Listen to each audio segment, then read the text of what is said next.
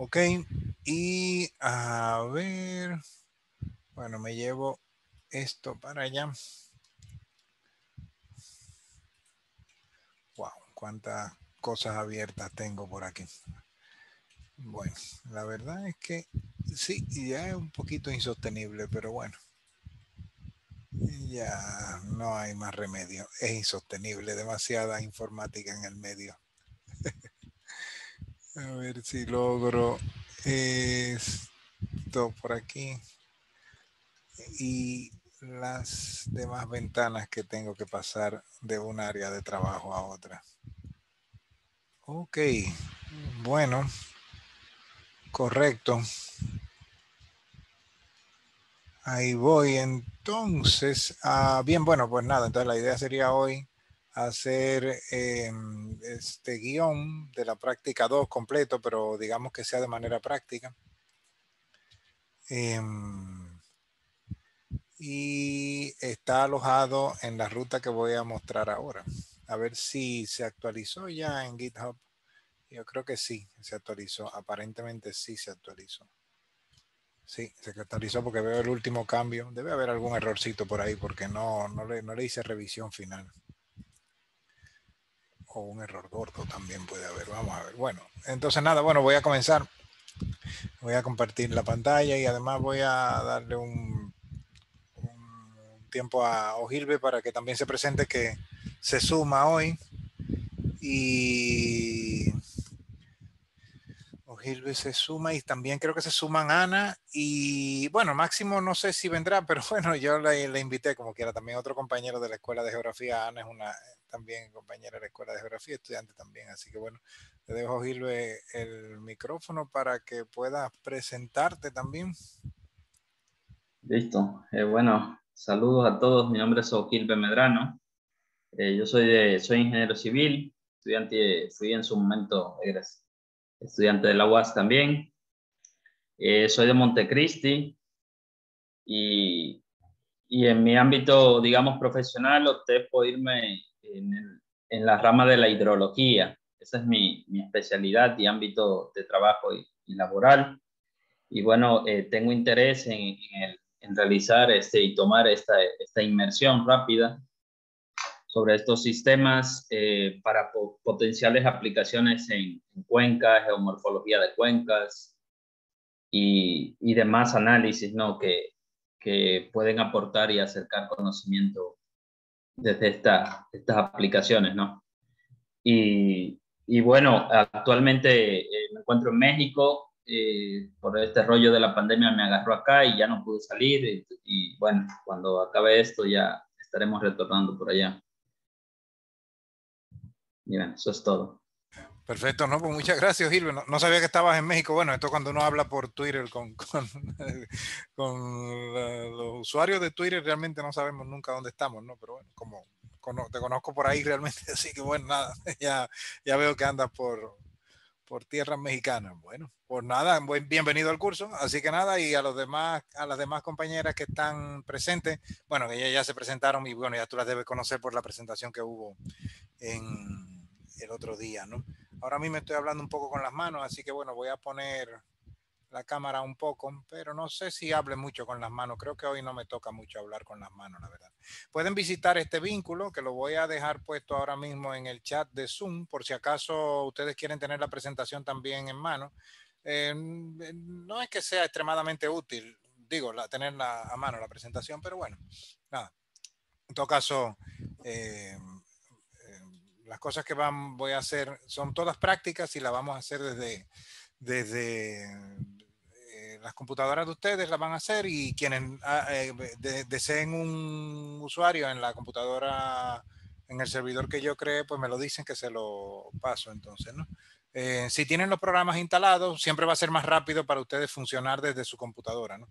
Si no tienen los programas instalados, pues bueno, entonces nada, o si no tienen, o si tienen también dificultades para instalar los programas pues no hay problema. Yo, yo les paso el... Buenas tardes, buenas tardes para todos.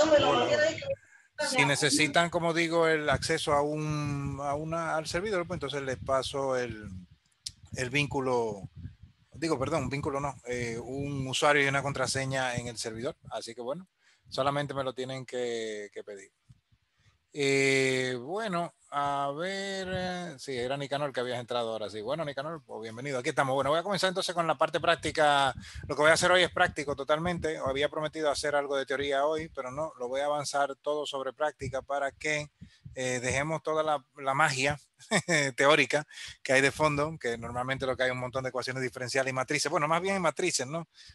Con las ecuaciones diferenciales se fajan los ingenieros que tienen que hacer los receptores de hardware y, y los que diseñan el segmento espacial, ¿no? Pero al menos, y, eh, pero en terreno sí, los usuarios nos matamos con las matrices, ¿no? Pero las matrices, aunque ustedes no la van a tocar, pues todo lo que va a hacer RTCalib es sobre todo álgebra lineal y, y matrices. Voy a dejar un poco de eso para la, la, teoría que no lo voy a abordar hoy. Entonces lo que voy a hacer es que vamos a hacer las, eh, a obligarles sobre todo, no sé si en buen sentido de la palabra o con una mandarria, pero bueno, le voy a imponer a que me me sigan.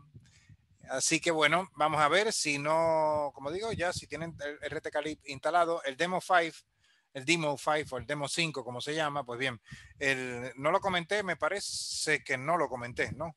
Pero eh, sí les dije que era de un, la página RTCalib es de un, de un investigador o un, bueno, parece que es un agrimensor realmente, ahí deje de compartir que eh, tiene su, lo compartí, creo que hablé de esto la semana pasada, pero es una web que si ustedes están muy metidos o si se meten en el mundo del RTK, van a terminar llegando aquí en algún momento, sobre todo en el RTK libre, ¿no?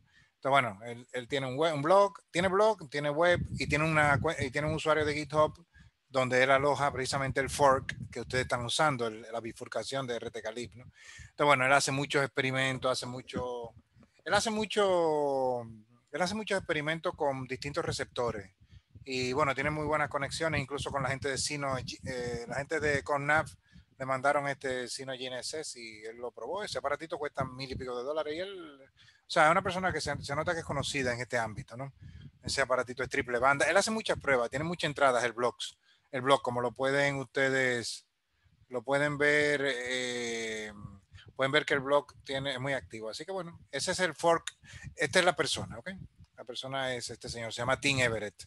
Y bueno, me he escrito con él y demás. Está afincado en, Colorado, pero bueno, creo que también en otros lugares, ¿no? Y noten que el blog es muy activo, la verdad, ¿ok? Miren todas las entradas que tiene, la verdad. Y bueno, uno ha visto la evolución de él desde que yo me sumé aquí, pues de inmediato caí en su web. Así que les animo a que visiten ese blog. Y como ya son usuarios de su fork, pues entonces van a tener que usarlo. Entonces, bueno, nada, yo me voy a ir a, al servidor, que me, resulta más fácil realmente para poder hacer eh, demostraciones. Ahora me voy a ir al servidor eh, configurado. Eh, que solamente lo estoy usando yo de momento, no he visto a nadie usándolo, solamente me pidieron cuenta Xiomara y Mario, pero no, no vi que hayan entrado. Y luego, claro, es una máquina Ubuntu. Entonces, bueno, tiene todo instalado. La verdad que me, a mí me conviene mucho ahora mismo esto, ¿no? Tiene todos los software instalados y bueno, lo mismo que yo les pedí a ustedes que pusieran. Esto es una, esta parte no es, eh, si tienen Use Center instalado, solamente les quiero mostrar, no es parte de la práctica, es simplemente para que vean en qué consiste el Use Center. El Use Center. Ustedes, no sé si ustedes algunos son usuarios de, ay, perdón, este es el instalador, ya yo lo instalé, así que no, no necesito volverlo a instalar. Em, solamente que si ustedes ya instalaron UseCenter, mostrarles porque es con ese software con el que uno hace las configuraciones de uno hace las configuraciones de los receptores y a la vez también con el UseCenter uno hace eh, puede hacer incluso evaluación, ¿ok? Uno puede hacer evaluación de, de receptores. Uno evalúa si están bien, si están mal, si están dañados y los configura a través del UseCenter. El UseCenter es una, es una aplicación muy robusta. Está diseñada para Windows. Aquí yo la estoy ejecutando desde un emulador de Linux. Si ustedes, no sé si hay alguien, creo que nadie es usuario de Linux aquí o no tiene a Linux como principal em, eh, sistema operativo. Pero bueno, nada, lo que estoy haciendo es, eh, voy a entrar al rover. El rover es un, un receptor U-Blocks que tengo, o sea, cuya antena está instalada en el techo de mi edificio. Lo, aquí se ve, ¿no? Esta es la base. Aquí está la base, ahí arriba, subida sobre la escalera que da acceso al techo del edificio. Y este es el rover, el que ustedes también pueden ahora mismo acceder con la URL que les voy a pasar ahora. Está puesto sobre la tapa de una lata de galleta o de bizcocho navideño, no sé qué vaina era eso, pero bueno, mi mamá me la dio y le, puse la antena sobre eso porque recomiendan que las antenas que son, em, sobre todo las antenas que son magnéticas y que se ponen en los techos de los carros, estas antenas que no tienen em, eh, una base de hierro que refleje las, las ondas o, que impida por lo menos que lleguen ondas rebotadas del, del suelo, em, ellos recomiendan que uno las ponga sobre ese tipo de estructura. Entonces, por eso que ustedes ven que está montado sobre esa cosita, ¿no? Y esta es la base. Esto yo lo puse la semana pasada. Bueno, yo tengo tiempo haciendo experimento con esto, ¿no? Y lo quito y lo pongo, ¿no? Pero la semana pasada lo instalé y este es el que ustedes van a utilizar como rover. Entonces, fíjense, la distancia la van a ver ahora más en detalle. O sea, la distancia que hay es pequeña entre ellos dos, ¿no? O sea, no, es una distancia muy grande que hay entre el denominado rover, no es un rover móvil, está, como ustedes ven, estático, fijo en, el, en, el, borde del, en el bordillo del techo y eh, como ustedes pueden ver, la distancia entre ellos no es muy grande, ¿no? Aquí está el detalle, ¿no? Es una antena de estas que se ponen en carro. Estas antenas son bien baratas. Es una antena multi, es una antena de doble frecuencia que se pone que se puede, que se usa para poner en techo de carro y demás. Tiene un, un imán que se pone bien duro a los, a los, hierros, pero aquí yo lo que hice fue que realmente lo atornillé, ¿no? Entonces nada, bueno, uh, y ese cable también, que ustedes ven, ese cable baja también, ahí la habitación mía está por aquí debajo de, este lugar. Entonces bueno, nada, la idea es, que es el que vamos a usar como rover. Entonces lo que voy a hacer con el U-Center eh, es básicamente que ustedes lo vean funcionar el U-Center, ¿no? Que lo, creo que lo mostré el otro día. Entonces, claro, ustedes lo único que tienen que hacer es crear una nueva conexión, una conexión de red. El rover está transmitiendo por protocolo TCP por TCP/IP, está transmitiendo a, Internet desde el modem de mi casa y está transmitiendo. Entonces, por eso que ustedes van a tener acceso hoy a ese rover sin ningún inconveniente. ¿no? Entonces, bueno, ustedes le pueden dar new y escribir lo que ustedes van a ver que yo voy a escribir ahora, o sea, lo que ustedes ven que está en pantalla, lo voy a acercar un poco y esa URL la voy a poner en el chat de Zoom ahora, ¿no? Dice geoffice.ddns.net 2.3001 con TCP 2. barra barra por delante, ¿no? Lo voy a poner en el chat de Zoom que es mucho más fácil para que ustedes lo puedan eh, manejar. ¿no? Ahí está en el chat de Zoom. Eso lo pueden colocar en el Center si lo tienen instalado. Cuando ustedes activen esa conexión, lo, lo, que va a ocurrir es básicamente que se va a llenar, todos los paneles se van a llenar de, de información. Yo ya la tengo creada la conexión, así que bueno, se van a llenar de información eh, mostrando eh, las constelaciones que se están recibiendo, cada país con su bandera, bueno, país no, porque hay regiones también, ¿no? Eh, los grandes bloques, no como la Unión Europea, ¿no? Pero Galileo, ¿no? sea GPS, GLONASS, Galileo y Beidou, ¿no? De China, ¿no? Estas son las intensidades de señales, este es el Skyplot y aquí están las coordenadas en modo single, ¿no? Él no está recibiendo correcciones en este momento y aquí en un mapa mundi los satélites, la coordenada del lugar donde estamos viendo.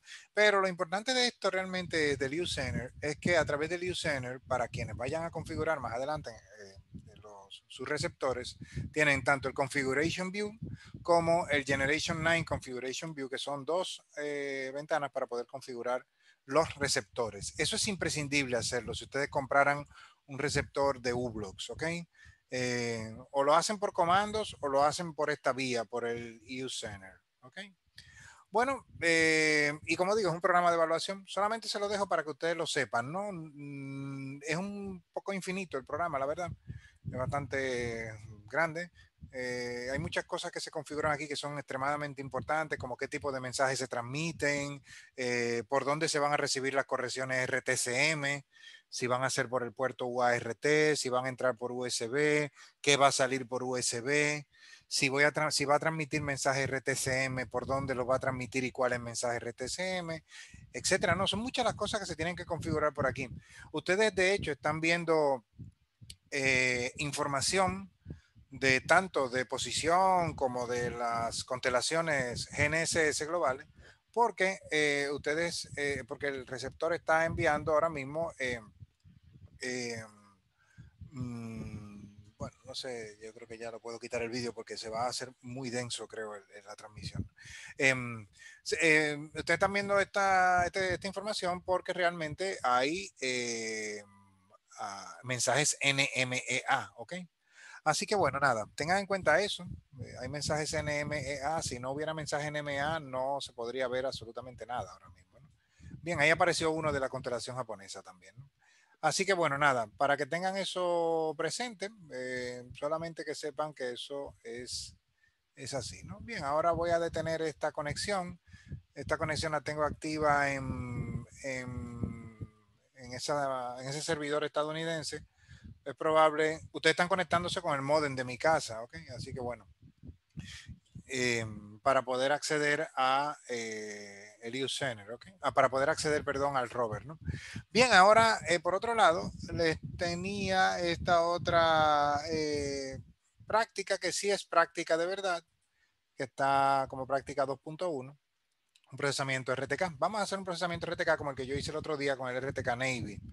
Eso se hace con, el, eh, con el, la aplicación de RTK Lib.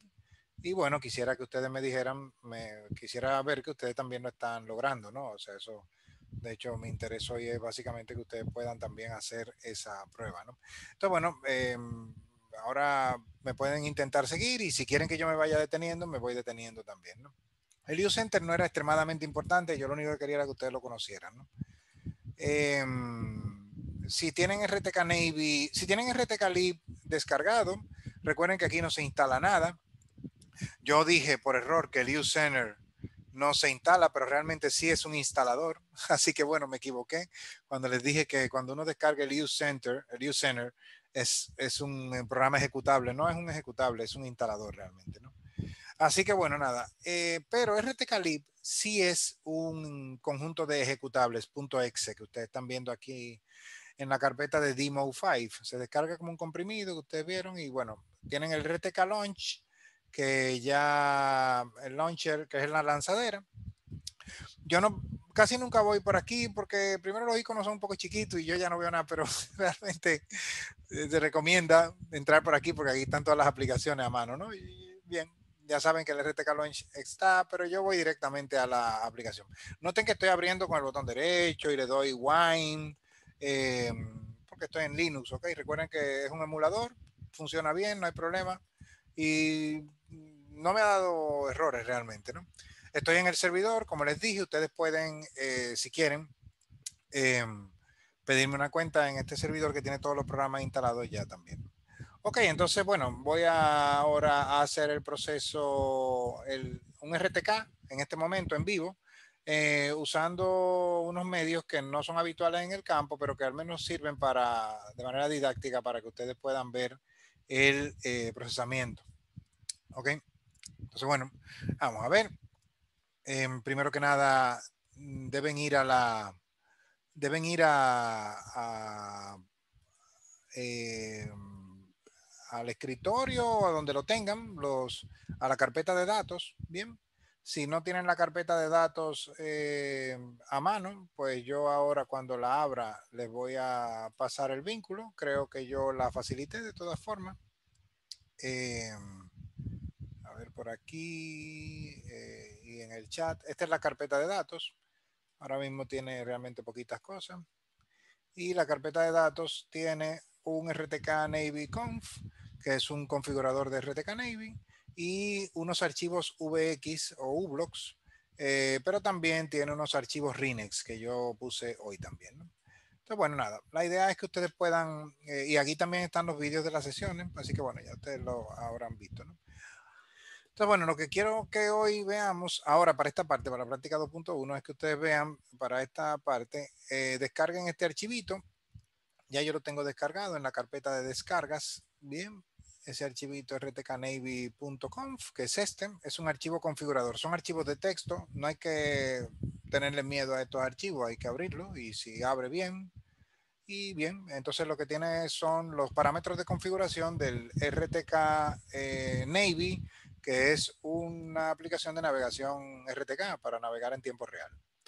Entonces, em, ese configurador que ustedes ven tiene, cada uno de los parámetros tiene un significado realmente, el tipo de posicionamiento, si es estático, si es doble frecuencia, etcétera, ¿no?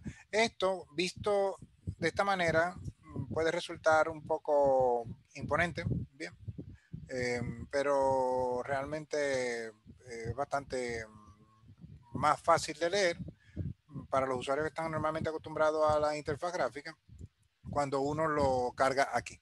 Entonces, si ustedes se fijan, ahora yo voy a, configurar a RTK Navy. Me traje la ventana de RTK Navy ahora aquí a mano. Voy a configurar a RTK Navy usando eh, el Options, el botón Options, Load.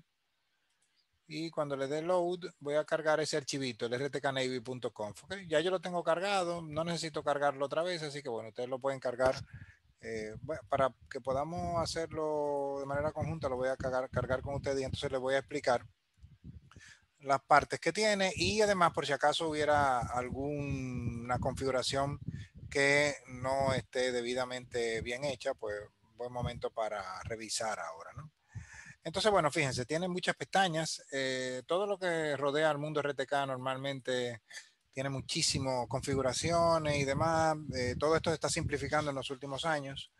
Yo que he venido viendo la evolución reciente, pues me, he dado cuenta de que realmente lo que se quiere ahora es que esto se integre y quede integrado en los teléfonos. ¿okay? Así que bueno, muy pronto te van a tener teléfonos con RTK probablemente. Más así como ahora hay un teléfono con LiDAR, el de Apple, pues también van a tener este, esta tecnología integrada en sus teléfonos. Entonces, claro, de momento sigue siendo muy aparatoso, ¿no? Y noten, mil pestañas y cada pestaña mil eh, configuraciones.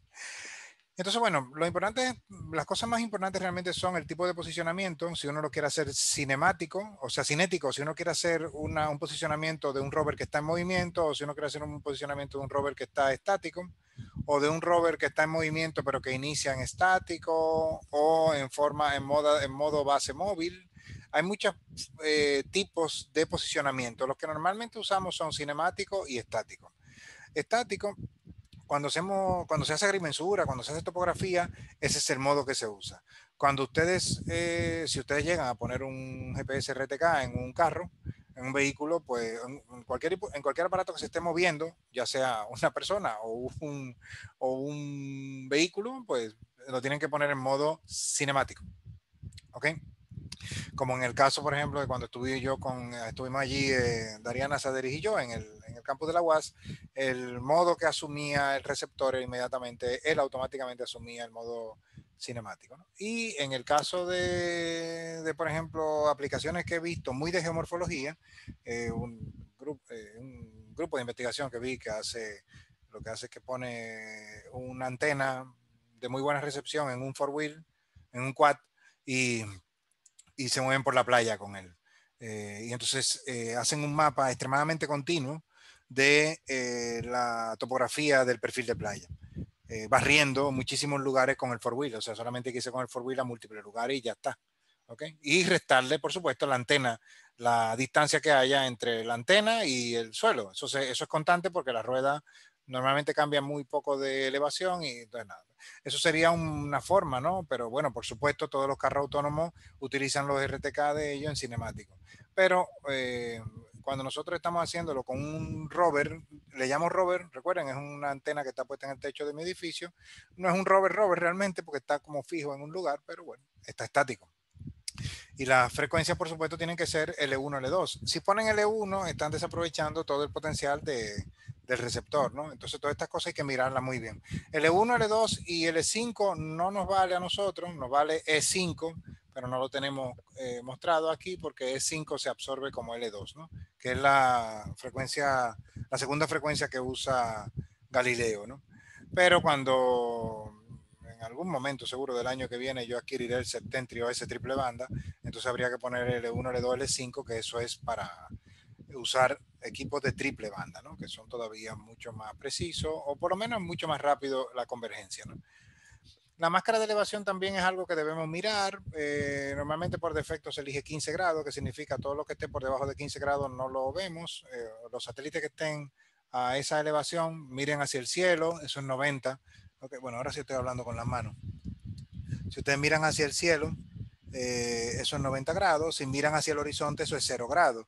Entonces, si ustedes fijan una máscara de 15 grados, todos los satélites que queden más o menos eh, por, eh, tapados por mi brazo, entonces no se van a poder usar en la solución RTK. Entonces, claro, si elevo, si aumento el valor de, ángulo de la máscara, entonces voy a tener eh, mucho menos satélites siempre incluidos. La idea de la máscara es evitar usar satélites que estén cerca del horizonte porque van a venir con una señal que va a estar afectada normalmente por multitrayecto, porque va a haber impactado en distintos puntos en, a lo largo del recorrido hasta llegar a nosotros, ¿no? Entonces, bueno, eso es importante, ¿no? Eh, quitarlo. Y esto luego es el tipo de... Ups, parece que se me fue la conexión no sé si me escuchan. Ah, bueno, se está, está bastante lento la conexión con el servidor, seguramente en parte porque eh, todo el mundo seguro está conectándose. Si, si hay gente conectada ahora mismo a mi, al GPS, pues bueno, eso va a afectar, ¿no? Por supuesto. Pero bueno, da igual, eso es bueno que lo probemos, ¿no? tipo de máscara que usar y demás, o sea, sobre qué, qué, usar, perdón, como, como eh, ponderador las observaciones. ¿no? Luego este conjunto de observaciones se usan cuando uno está haciendo eh, correcciones eh, eh, con efemérides más precisas. No voy a entrar en el detalle. ¿no? Esto es muy importante. Son las constelaciones que usamos. No les recomiendo nunca que desactiven estas cuatro. ¿ok? Las cuatro que está preparado el set F9P, al menos el multibanda de U-Blocks, GPS, GLONASS, Galileo y Beidou son importantes, la verdad. Las demás no nos van a afectar mucho a nosotros, no nos van a aportar mucho a nosotros. En la pestaña 2, pues eh, importante sobre todo, bien importante sobre todo el, el, tipo de resolución de para la, el, cómo vamos a operar con la resolución de la ambigüedad del entero. ¿Okay? ¿Cómo se va a resolver la ambigüedad del entero? ¿no? Entonces, hay varias maneras de hacerlo, pero la recomendación general es que si los dos receptores que ustedes están usando son de la misma compañía, tienen el mismo sesgo. Entonces, eh, es lo habitual, ¿no? Tienen unos controles de calidad muy fuertes, entonces tienen el mismo sesgo. Cuando se hace la resolución de la ambigüedad del entero, lo normal es que haya un error introducido por el sesgo del receptor. Entonces, si los receptores que ustedes tienen en base y rover son iguales, lo que se recomienda es que para GPS y GLONASS se use fix and hold, porque los sesgos de, ambas, de ambos receptores se van a cancelar mutuamente y entonces la, la, solución primero va a llegar más rápido y segundo va a ser mucho más precisa. ¿no?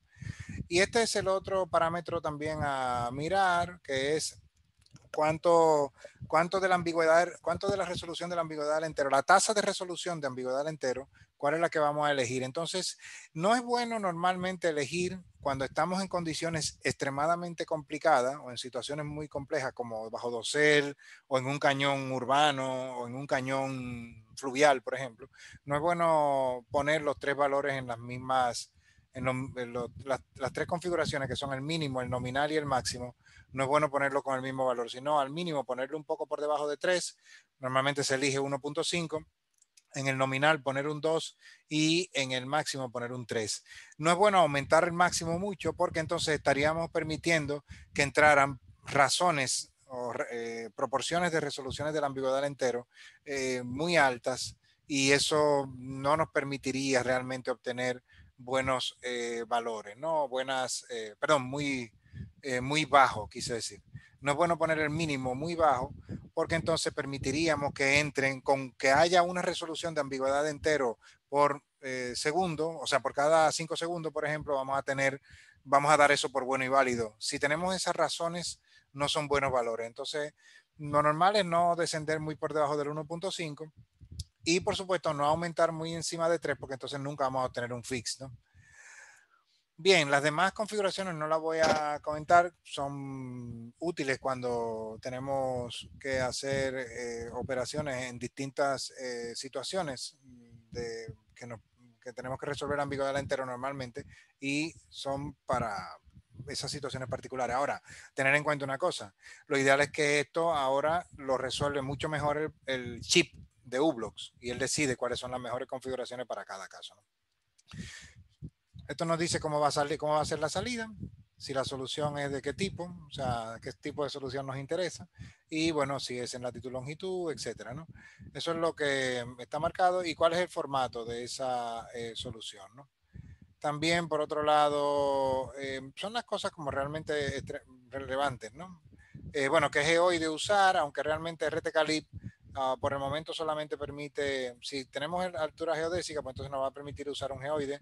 Él solamente tiene unos tres geoides, pero nosotros le podemos incorporar uno si nosotros lo quisiéramos. ¿no? En los estadísticos, ¿qué estadístico general? Sobre todo, eh, eh, sobre todo, lo más importante es cuáles son los estadísticos que va a utilizar el algoritmo para decidir en qué momento eh, elegir una solución RTK y cuáles estadísticos reportar como error de nuestra solución. La posición es importante. Esta es una pestaña que es extremadamente importante porque usted, si no le dicen que los, al menos cuando están haciendo soluciones RTK en vivo, en tiempo real, eh, si no le dicen que la eh, posición de la base, si no se la indican mediante eh, y ustedes están recibiendo, en este caso es así, soluciones, ustedes están recibiendo correcciones RTCM, si ustedes no eligen esta opción, Mm, van a tener la opción por defecto que es esta. Y RTK entonces pone esto en el meridiano cero, eh, o sea, lo pone en, el polo norte, vamos. O sea, entonces claro, esto no nos conviene, ¿no? Entonces, bueno, la idea es que ustedes eh, elijan una, una posición para la base. Si ustedes la van a escribir ustedes, pues bien, ustedes eligen esa opción y la escriben aquí la posición de la base. Pero si ya la base está transmitiendo su posición y entre todos los mensajes RTCM que llegan como correcciones eh, desde la base, llega la posición de la base, que es la posición que yo les mostré en el vídeo anterior, esa posición que tiene un milímetro de error, pues entonces es importante que si esa posición de la base llega a través de los mensajes RTCM, ustedes elijan esta opción, ¿ok? Ustedes pueden guardar las soluciones dentro de un archivo, dentro de un archivo POS. O sea, ustedes pueden decir em, dónde ustedes quieren guardar cada uno de los, de, la, de los datos, ¿no? El, archivo de geoide, o sea, cuáles son, perdón, los... Em, eh, ah, no, perdón.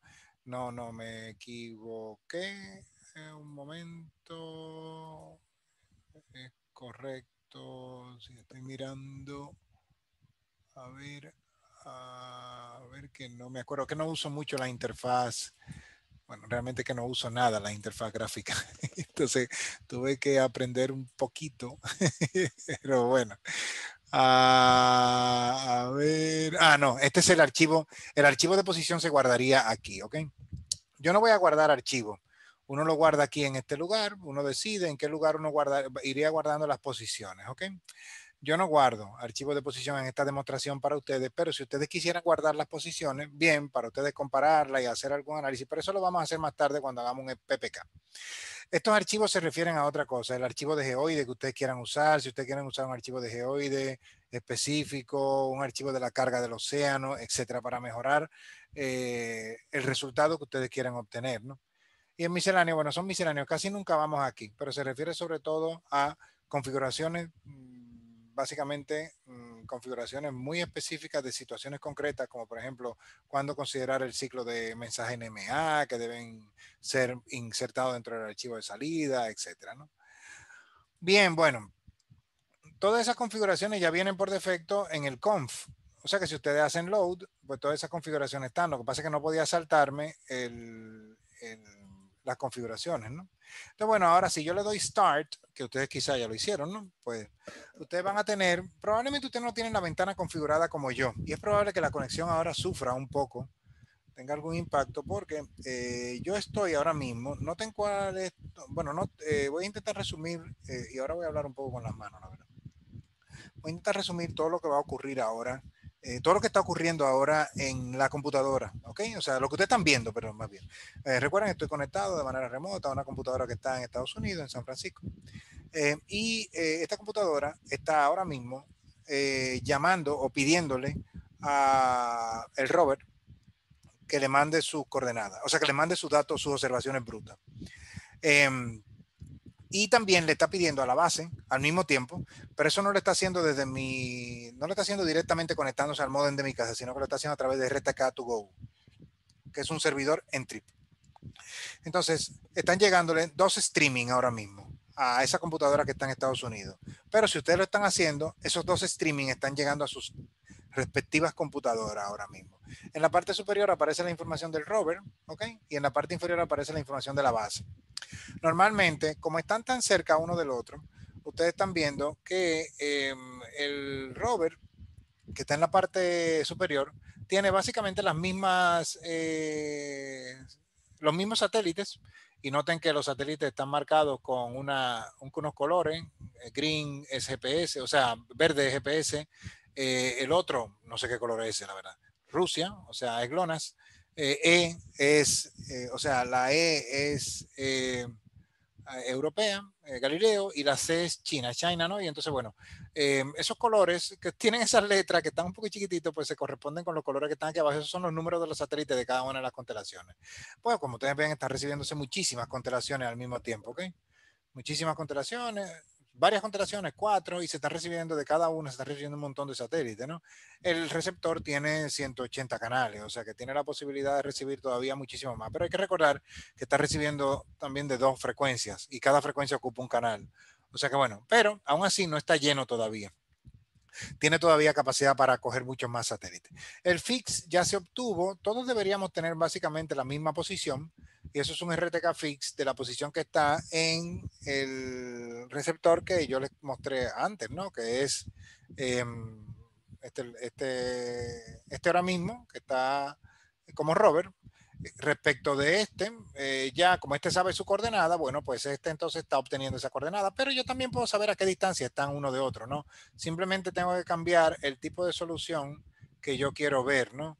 Eh, en lugar de decirle que me dé las coordenadas, las sabe porque las coordenadas de la base son muy precisas, bueno, pues Robert ya las tiene también, únicamente calcular el baseline.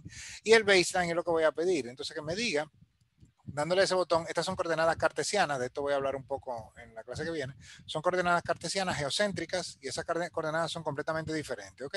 Son las coordenadas que normalmente se manejan en los cálculos de la solución RTK eh, y en las matrices lo que entran son precisamente esas coordenadas. Y esta es la solución en eh, la solución RTK fix mostrada en el formato baseline.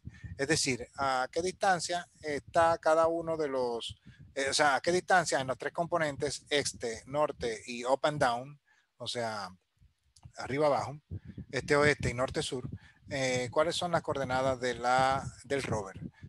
dice que hay unos 9 metros desde el rover a la base eh, hacia el este en positivo, y lo pone en positivo porque sí, porque está hacia el este. Hay algo hacia el norte, que es uno, casi dos metros, y en, hacia abajo, bueno, está en negativo, por eso es hacia abajo, está eh, mostrándose eh, que está supuestamente a tres metros por debajo. ¿no? Yo he calculado eso y sí, realmente está muy cerca. ¿no? les muestro ahora en Google Earth voy a mostrar, bueno, ya no sé en cuál Google Earth ir, si en el de mi, este lío de tanto aparato activo, la verdad es que uno no sabe ya dónde entrar, pero bueno, a ver si entro mejor en el de mi, eh, mejor en el de mi computadora local, porque eh, creo que va a ser quizá más rápido que irme a esa computadora en Estados Unidos, usar el Google Earth, pero ustedes pueden usar el Google Earth eh, y bueno, ahora no, lo que voy a hacer es llevarle, hacerles un viaje a donde está el edificio donde estoy ahora mismo. Y ustedes verán eh, que, bueno, eh, realmente no voy a mostrar la coordenada en tiempo real. No es eso lo que voy a hacer, es simplemente mostrárselo. Gasco, ¿verdad? Bueno, ahora tengo que llegar a por aquí. Bien, este es el edificio. La antena está aquí, ¿ok? La antena de la base está aquí en este lugar y la del rover está aquí en este lugar. Fíjense que el edificio está abatido, ¿no? Ok, el edificio tiene un abatimiento hacia el sudeste, ¿no? Porque el satélite evidentemente no tiene el nadir. El nadir no está justo sobre mi edificio, ¿no? Ya quisiera yo. Entonces, bueno, se supone que aquí debería haber unos 9 metros hacia el este. Lo que pasa es que la componente este es esta, ¿no? Pero sí, realmente la, el rover está más o menos por ahí, como ustedes vieron en la foto, yo la voy a volver a poner ahora. Y bueno, sí, unos 9 metros, se supone. Al norte también hay una, de la componente norte, me voy a acercar un poco más para poner la componente norte. Sería algo como más o menos como eso, se supone. Bien, porque el edificio no está eh, en dirección este-sur, este-oeste perfecta, entonces por eso es que dice que hay un metro casi dos hacia el norte. Y en, en vertical, pues por supuesto, también tiene una componente, en este caso negativa, porque es, está hacia abajo. O sea, el, rover está a 3 metros hacia abajo, ¿no? Si ustedes me pueden usar quizá también una referencia de escala, ¿no? Esto aproximadamente, aquí hay aproximadamente, ah, justo aquí más o menos, aproximadamente hay un metro, ustedes lo pueden multiplicar y le va a dar que son los tres y pico que dice la solución fija, ¿no? Entonces, bueno, eh, claro, evidentemente lo calcula desde aquí hasta a la, antena reference point o la antena face center mejor de la base y del rover aquí, ¿no? Ahora les voy a mostrar eh, la solución otra vez en formato baseline. ¿no? Dice que son menos 3 metros. Bien, ok, esa es la, esa es la, posición calculada. Yo he, he, hecho el cálculo varias veces y me sale más o menos que sí, que al menos en elevación es eso lo que hay. ¿no? Bien, bueno, miren que hay varios formatos de soluciones y esta es la que voy a dejar fija. ¿no? Ahora voy a hacer el plot y con el plot eh, eh, el problema es que el, el, RTK plot dura un poco en cargar. Eso es RTK plot realmente, ¿ok? Entonces, bueno, voy a acercarme con la rueda, ustedes lo pueden hacer del ratón, ¿ok? Y noten que, bueno, por supuesto, va a salir una solución extremadamente precisa, ¿no? O sea, ustedes están viendo probablemente, bueno, voy a intentar eh, quitar el puntito y a ver si logro que cargue, noten que todo el tiempo hay fix. Eso que pone 100% es que hay 29, desde que abrí la ventana RTK plot, hay, está poniendo fix. Uno por segundo, porque esa es la cadencia que tengo puesta en el receptor, tanto en la base como en el rover.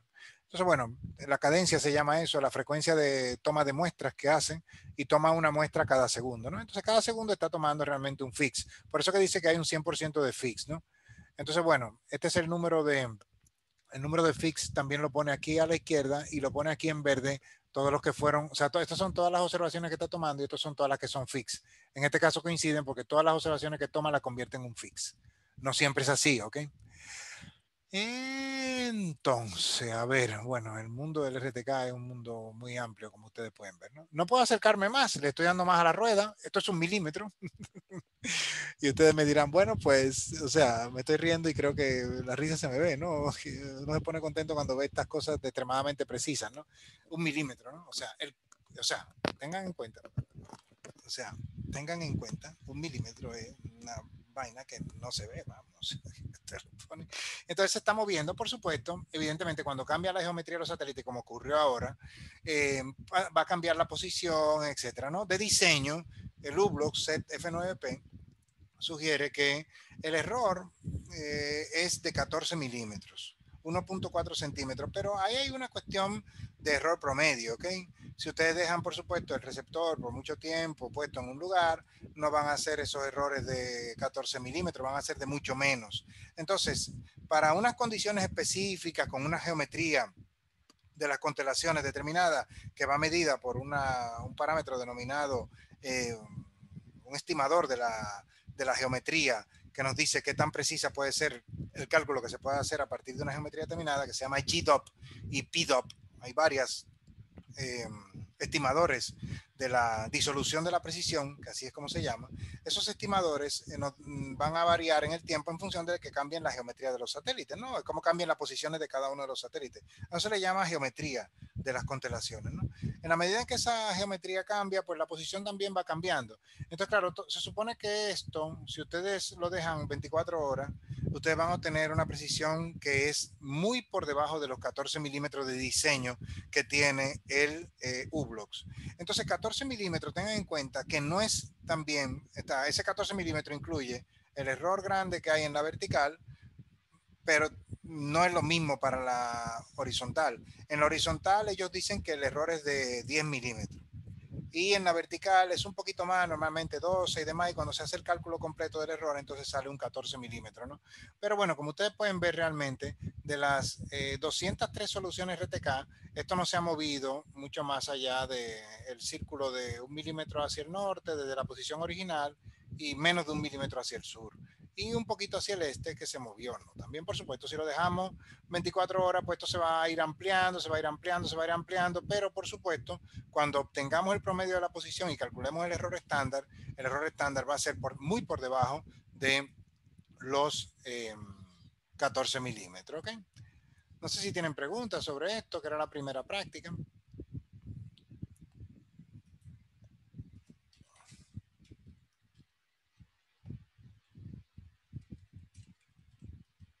Eso es lo que dice aquí, que pedía el talibán hacer. Bueno, no lo comenté anteriormente eh, y debí, de hecho, comentarlo, porque una de las partes más importantes que no les dije de lo que hay que configurar en RTK Navy, eh, voy a cerrar la ventana de RTK Plot, ok, por un momento. Una de las cosas que normalmente se configuran en el, en el lo voy a parar por un momento una de las cosas más importantes que se configuran es, eh, y que van con el archivo rtknavy.conf, es las entradas, eh, de dónde vienen las entradas, quiénes son los streaming, ¿no? Em, no lo dije antes y debí decirlo, la verdad, pero bueno, nada, voy, voy ahora a decirlo, ¿no? Voy a apagar ahora el vídeo porque así no consumo mucho ancho de banda. Las entradas se configuran aquí. El archivo que yo les hice cargar a ustedes de rtknavy.conf las tiene ya, pero las entradas se configuran aquí. Entonces noten que las entradas son, por una parte, eh, o sea, todos los input streams o los flujos de entrada son un rover y una base. Hay que decírselo quiénes son. El rover es lo que ustedes pusieron antes en el, en el center si lo llegaron a hacer antes, ¿no?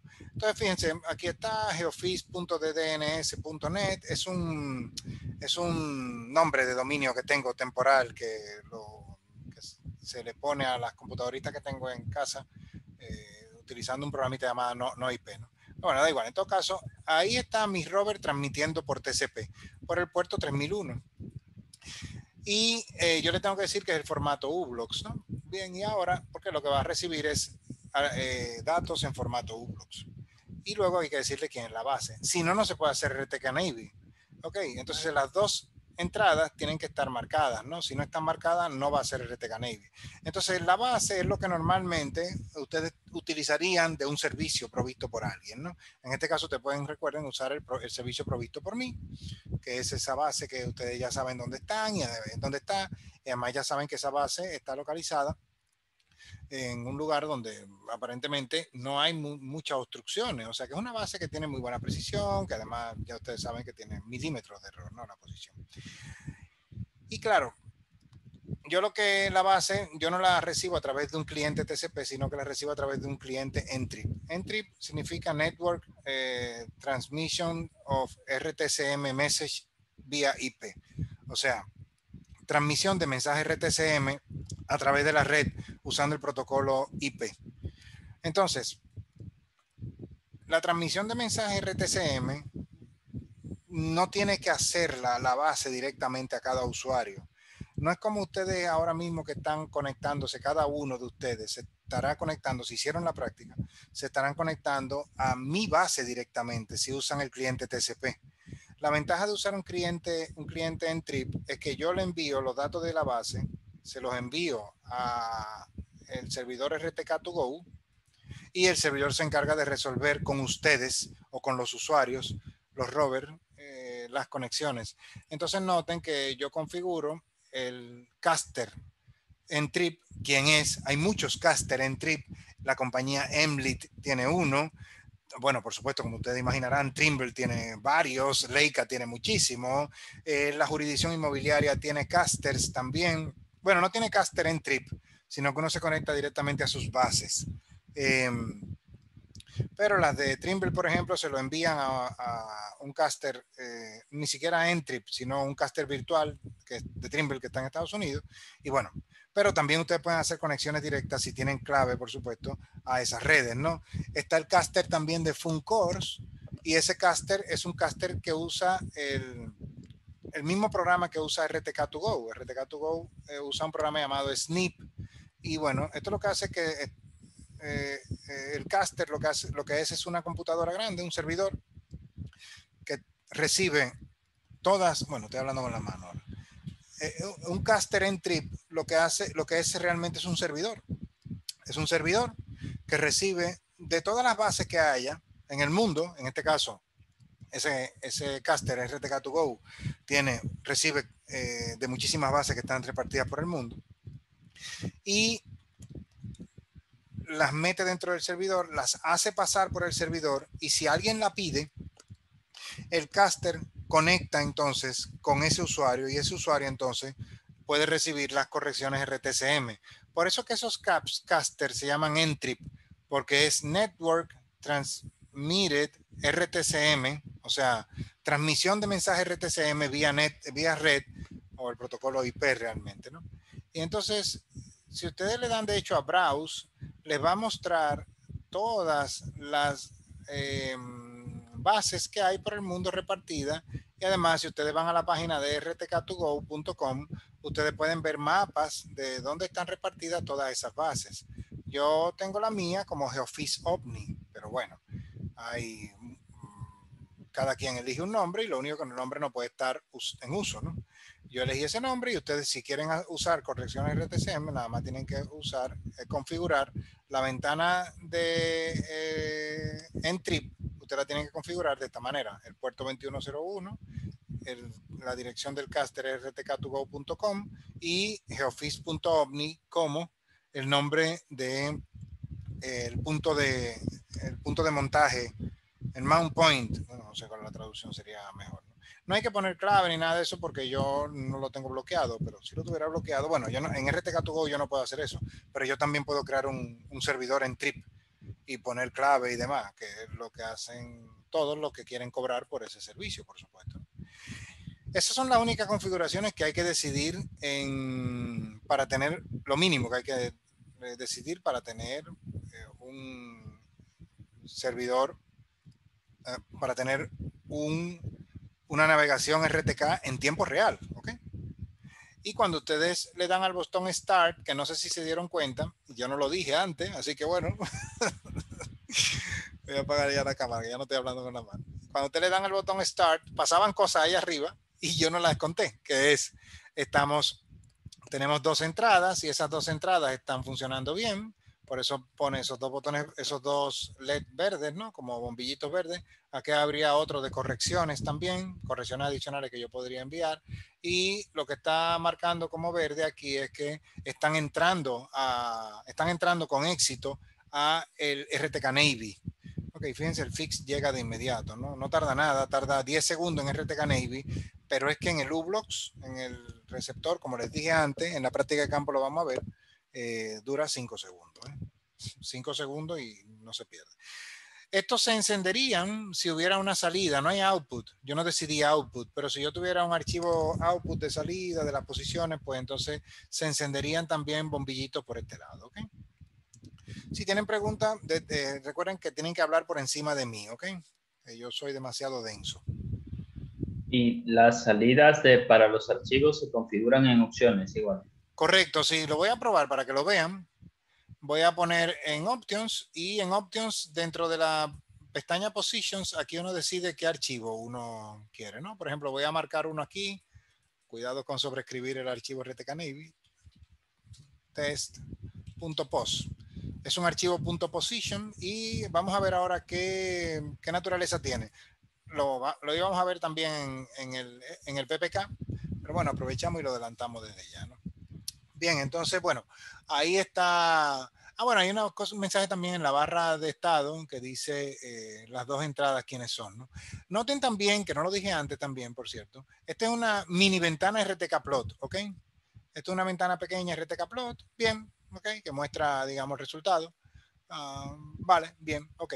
Y todo esto se puede cambiar, o sea, ustedes pueden cambiar qué hay en esta ventana presionando aquí.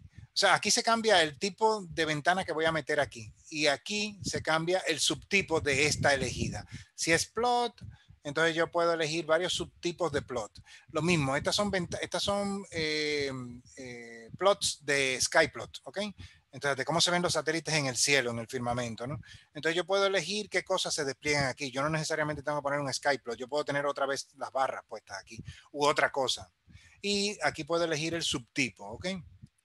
Todas estas cosas te pueden jugar con ella. Yo no voy a ponerme a eso ahora, ¿no? Y luego también la, aquí también yo puedo hacer lo mismo, ¿no? Recuerden, la flechita de la derecha es para elegir el gran tipo de plot que quiero en ese lugar y la de la izquierda es el subtipo, ¿ok? Y recuerden que el tipo de solución es un tipo de solución que eh, a mí me interesa si, si estoy haciendo experimento, pues ver si es una solución cartesiana geocéntrica, si es ENU, o sea, si es un baseline lo que estoy generando, este es el baseline realmente. Ok, bien, bueno, nada. Y ya te pueden jugar un poco con eso. Yo no lo voy a cambiar, lo voy a dejar así como está, ¿no? Y ahora vamos a ver el archivo como quedó que pedía Ogilve, ¿no? Vamos a ver aquí el archivito, lo metí en VX, de hecho, me parece, o no me acuerdo bien dónde fue que lo guardé, quizás arriba. Eh, vamos a ver. Ah, bien. Ok. Bien, bueno, no uso mucho esto, pero se nota que se nota, bueno, dice que lo tengo en test post, pero no lo vi ahí. ¿Será porque tengo que darle a actualizar? Pues no, no está en downloads probable que esté en otro lugar, ¿no? Bueno, no estoy seguro. Vamos a ver. Eh, bueno, será quizá que lo tengo que poner en output allá, ¿no? Station. Ay, no, ¿verdad? No es esto. Estoy equivocándome. Eh, borren lo anterior. El video no lo puedo editar ya. Borren lo anterior, pero ese realmente era eh, de, la, de la base. Uy, no. Esto es un error que, que cometí aquí. No, no. Bueno, realmente la salida iba aquí. Bueno, era aquí, vamos a ver, son las salidas, ¿no? ¿Dónde van las soluciones? Eso era de la base, ¿no? Uy, bueno, este es un archivo de la posición de la, de la base, ¿no? Eh, así que bueno, no, no es eso. Eso es cuando uno elige que la posición de la base va a salir a partir de un archivo que uno elija, ¿no? Entonces, no, no es, no es eso, no, no, no, no, esa es de la, de la, base, ¿ok? No tiene nada que ver con esta, ¿no? Así que bueno, eh, es aquí donde se dice dónde uno quiere que se guarden las soluciones. Yo las soluciones las puedo transmitir en tiempo real, como las puedo pasar a archivo, que es lo que voy a hacer ahora, ¿no? La voy a pasar a archivo y le voy a decir cuál es el archivo de salida, ¿no? Eh, puedo decir qué tipo de solución yo quiero, como lo mismo que aparecen aquí, la puedo elegir aquí, ¿ok? Entonces sería lat long height, entonces le voy a decir que eh, sea, por ejemplo, lo que quería guardar antes, que era test.post. ¿Ok? Y esas serían las soluciones donde se van a guardar. Y bueno, puedo también guardar la etiqueta de, de temporización. ¿no? Pero no lo voy a hacer. Y ahora le voy a dar otra vez. A ver, entonces debería encenderse aquí un verde que no lo estaba viendo antes encendido, por eso es que no se estaba guardando nada. Y ahora debería haber un archivo .post aquí. Aquí está. Debería ir creciendo en el tiempo, en la medida que vayan apareciendo soluciones. Yo también le puedo decir qué tipo de soluciones yo deseo. Por ejemplo, las iniciales son float y las float son soluciones que tienen 50 centímetros una precisión que ronda en torno a los 50 centímetros, es una precisión muy buena. Entonces, por eso, bueno, uno decide si las soluciones que uno quiere guardar en el archivo de posiciones de soluciones finales son solamente las, las, que son no float, sino fijas, ¿no? Entonces, bueno, el archivo va a ir creciendo en el tiempo. Si ustedes dejan eso creciendo en el tiempo, se puede volver infinito. Así que tienen que asegurarse de haber detenido su eh, streaming, ¿ok? Así que bueno, le vamos a hacer un stop. Es muy importante que cuando ustedes estén trabajando con RTK Navy o cuando ustedes estén haciendo streaming, se aseguren de que ustedes detuvieron su stream. Y yo estoy haciendo ahora mismo dos streams y aparte de hacer dos streams de entrada, estoy también generando una salida y esa salida entonces puede crecer infinitamente y llenar el disco duro con el tiempo lo llenará. Lo detuve y ahora lo tengo el archivo de posiciones aquí para que ustedes lo vean. Es un archivo estándar de RTCalib que muestra las coordenadas. En, eh, bueno, voy a ampliar un poco la fuente, la voy a poner en 14. Yo no la vi crecer, supuestamente creció. ¿Ustedes la vieron crecer? No crece. Yo me imagino que porque esa fuente de sistema no existe como tal, eso es. Ahí está. Bien, entonces, los campos son los que ustedes ven en pantalla. Latitud, esto de aquí, en, grado, grado decimal, longitud. Em, estas son elevaciones elipsoidales, no son geoidales, porque yo así se lo definí, ¿ok? Y esas son elevaciones por encima del elipsoide. Ya con la teoría vamos a ver un poco más de eso, ¿ok? Pero son elevaciones por encima del elipsoide, son las que solemos usar y nosotros después normalmente siempre tenemos las elevaciones geoidales, que son las que son aproximadamente eh, correlativas con el nivel promedio del mar. Pero estas son elevaciones elipsoidales, ¿ok? Están por encima del elipsoide, ¿no? Entonces, bueno, esto es con cuántos satélites hizo la solución, etcétera, ¿no? Vamos ahora a ver. Bueno, vamos a seguir. Eh, perdón, esto es el tipo de solución Q. Bueno, voy a tener que poner la letra otra vez pequeña porque me cambia mucho las columnas. Yo les voy a mostrar cómo esto se hace también en QGIS ahorita, más tarde. Me cambia las posiciones de las columnas, pero bueno, es Q. Lo que voy a hacer es que lo voy a desplegar con, mejor lo voy a desplegar con LibreOffice Calc, que es perfectamente viable, ¿no? Si usted tiene Excel, es, sería exactamente igual, ¿ok? No habría ningún, ningún inconveniente, ¿no? Yo lo voy a hacer con LibreOffice Calc. Aquí está. Luego lo vamos a hacer con QGIS también. Em, me va a preguntar cuáles son las columnas, etcétera. O sea que me va a preguntar una serie de datos, cuántas tengo que saltar al inicio, y además me pide que le diga quién es el delimitador. Los delimitadores en este caso son espacios y deben ser unidos. Debe unir los, los delimiters, ¿ok? Por eso se fija eh, merge delimiters y hay que decirle cuántas filas saltar. Le voy a decir que salte la primera y que lo haga desde aquí, ¿ok? Desde la fila número 2. Eh, ok, le voy a decir que empiece en la 2. No estoy seguro de que lo esté haciendo bien, pero bueno. A ver si es verdad. Correcto. Y hay que decirle que la primera fila tiene los nombres de las columnas. Ah, bueno, no, verdad que eso es en QGIS. Yo estoy cruzando los cables aquí. Bueno, ya tengo los cables cruzados. Ok.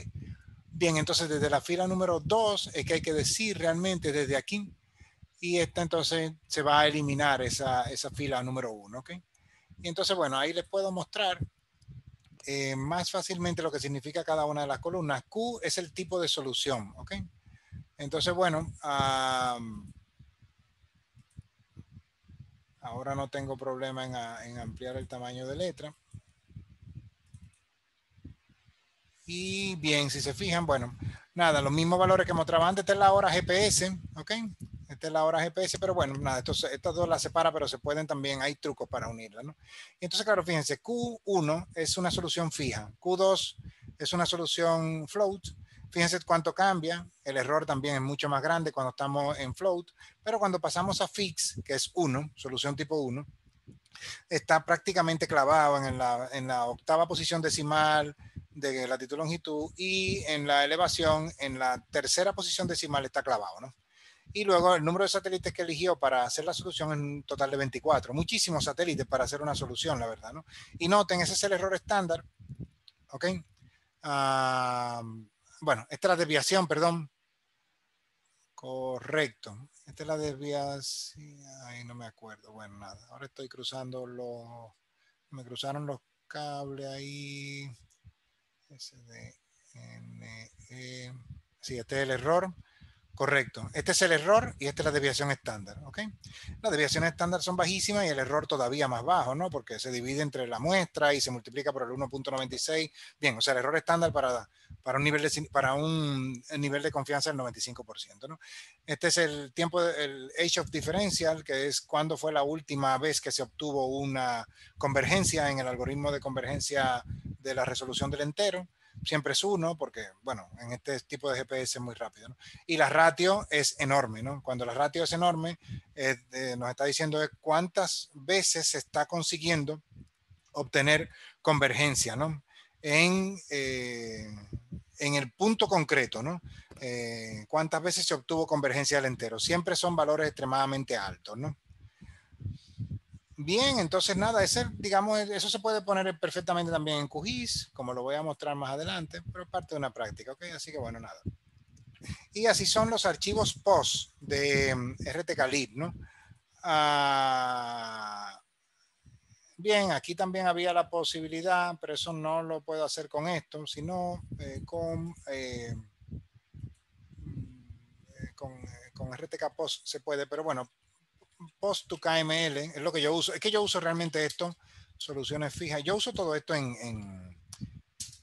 en, en, la consola. Yo esta vaina de la, de la ventana terminal, digo, de la, de la interfaz gráfica, yo no lo uso casi nunca. Tuve que aprender casi para dar el curso a ustedes. ¿no? Claro, eh, en, la, en, la, consola hay una, una herramienta que se llama Post to KML. Está implementado en uno de los de los de, de los de interfaz gráfica de, de, de RTK que es el RTK Post. Pero bueno, les voy a mostrar en, Google Earth que se puede ver. Aquí lo que hice fue que le dije, dame las soluciones fijas nada más, ¿ok? Con ese Q1.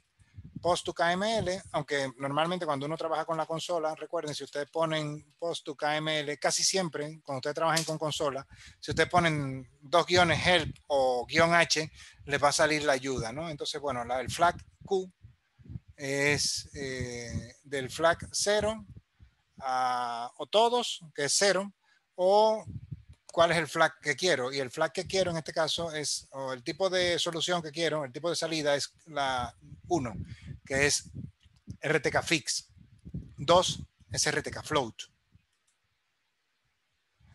Bien, bueno, me voy a ir al puntito. Noten que me va a llevar, por supuesto, está el rover, pero Google Earth tiene errores, ¿ok? Así que no vayan ustedes a creer que... que ah, bueno, las cosas que pasan con Google Earth, todas las aplicaciones que están hechas para, siempre para...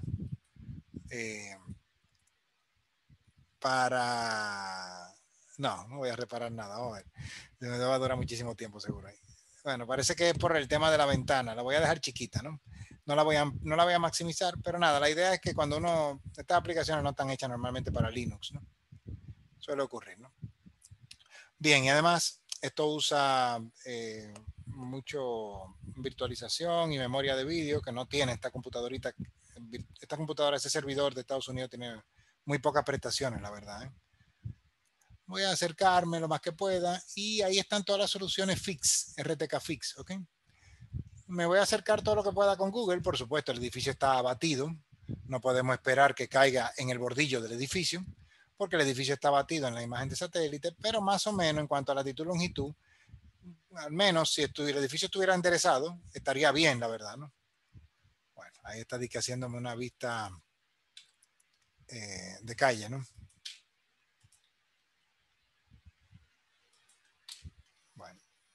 No sé si él está... Bien. Bueno, intenté acercarme mucho y miren lo que pasó realmente. Bueno, estos programas no están preparados para esto, realmente. Ok. entonces, nada, estoy intentando volver otra vez al punto. A ver si lo logra. Realmente la computadora le estoy pidiendo más de lo que ella debe dar. O sea, no, no es que tendría que aumentarle las capacidades para que pudiera ver un poquito más más rápido, ¿no? A ver si logro ir al punto otra vez.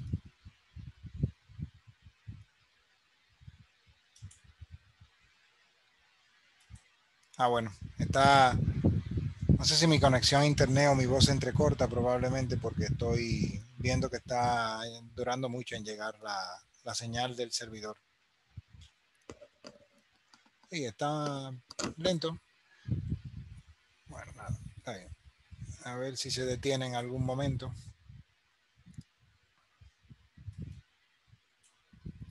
Y lo que quería era mostrarle, bueno, el puntito verde es ese realmente, ¿no? Si yo lo, cuando uno le hace clic en Google Earth, realmente todos los, eh, eh, salen todos los puntitos que realmente están ahí, ¿no? O sea, ahí hay un montón de puntitos. Cuando uno le hace clic, eh, se abren y salen todos, ¿no? como hay 80, no me acuerdo cuántas soluciones había, me parece que había eh, más de 80, o no me acuerdo, pero bueno, había muchas, ¿no? no, no consigo, no logro hacer que, que se vea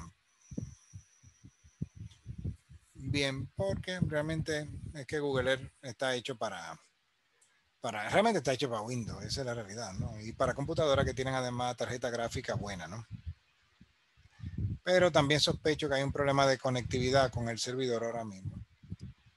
Y no está yendo bien. Bueno, voy a dejar que responda en algún momento, volverá en sí y cuando reviva, pues vuelvo otra vez para acá. Ok, entonces ahora si me están oyendo, no sé si me escuchan bien ahora mismo. Bien, así me dice Nicanor que sí, que se oía bien. No sé si ahora si me escuchan bien, pues puedo seguir, ¿no?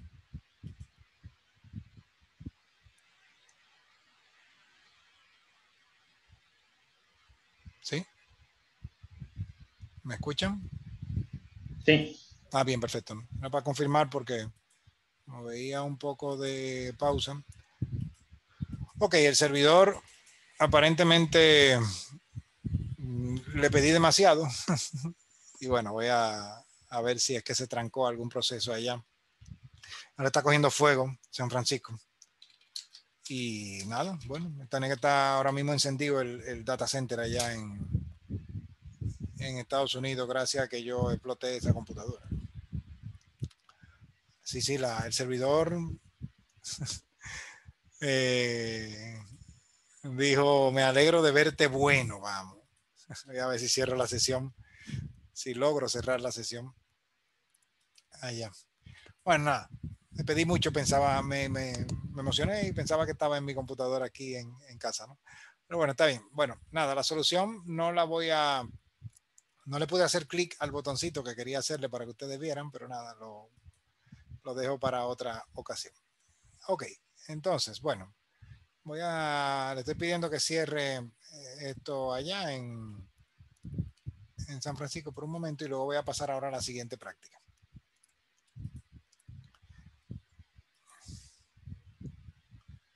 Voy a ver si entró. Sí, entró. Estaba reventado, era. Noten, es una computadorita chiquita lo que hay allá en, San Francisco. Una computadorita con un giga, con 2 gigas de RAM y un virtual CPU pequeñito de un gigahercio, ¿no? Así que bueno, realmente poca cosa lo que, lo que tiene, ¿no? Y eh, vamos a ver si logro. A ver. Voy a volver allá. Seguramente eh, explotó y ya no estarán nada de los programas que tenía abierto abierto. ¿no? Bien, entonces fíjense, todo esto fue lo que acabo de hacer ahora. Ok. Ahora lo que uno puede preguntarse es si eso sirve para algo realmente, ¿no? O sea, ¿sirve realmente esto para algo? Y yo les puedo asegurar que esto para lo que sirve únicamente para que ustedes jueguen un poco en sus casas. No les va a servir para mucho, ¿ok? Si la computadora se reinició. Google Earth la puso a explotarse, vamos. Bueno, nada. Ya sabemos que no se le puede acercar mucho. Ok, entonces, eh, lo que realmente sirve para jugar, no sirve para mucho, porque ustedes se pueden imaginar que una computadora con RT Calip en el terreno no es viable. No se puede llevar una computadora, eh, una portátil al terreno, eh, eso lo pueden hacer un día para evaluar, bien, pero no mucho más, ¿ok? Además, RT Calib requiere Windows y entonces tendrían que llevarse una computadora que sea Windows, etcétera, ¿no? Entonces, mucho lío, ¿no? Entonces, claro, esto realmente, si ustedes se fijan, mmm, no van a poder hacer mucho con RT Calib eh, interfaz gráfico de RT Calib en el terreno. O sea, en el terreno no van a poder hacer muchas cosas. Realmente están limitados en el terreno a las capacidades que tienen los pequeños aparatitos, que son normalmente, eh, que no son Windows normalmente, y que, ay, que esta gente tiene en el terreno, los edificios, claro, no digo yo, esta gente le meten a uno los edificios aquí por defecto, no digo yo, que exploten, claro, una, además una computadora no tiene tarjeta gráfica, ni siquiera no tiene ni siquiera memoria de vídeo. Bueno, claro, ¿cómo no iba a explotar?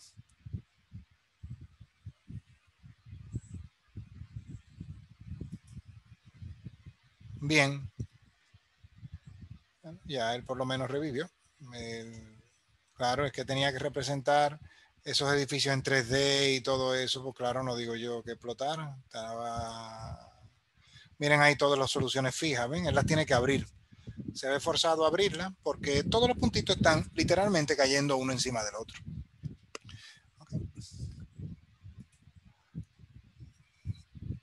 Bien, entonces, claro.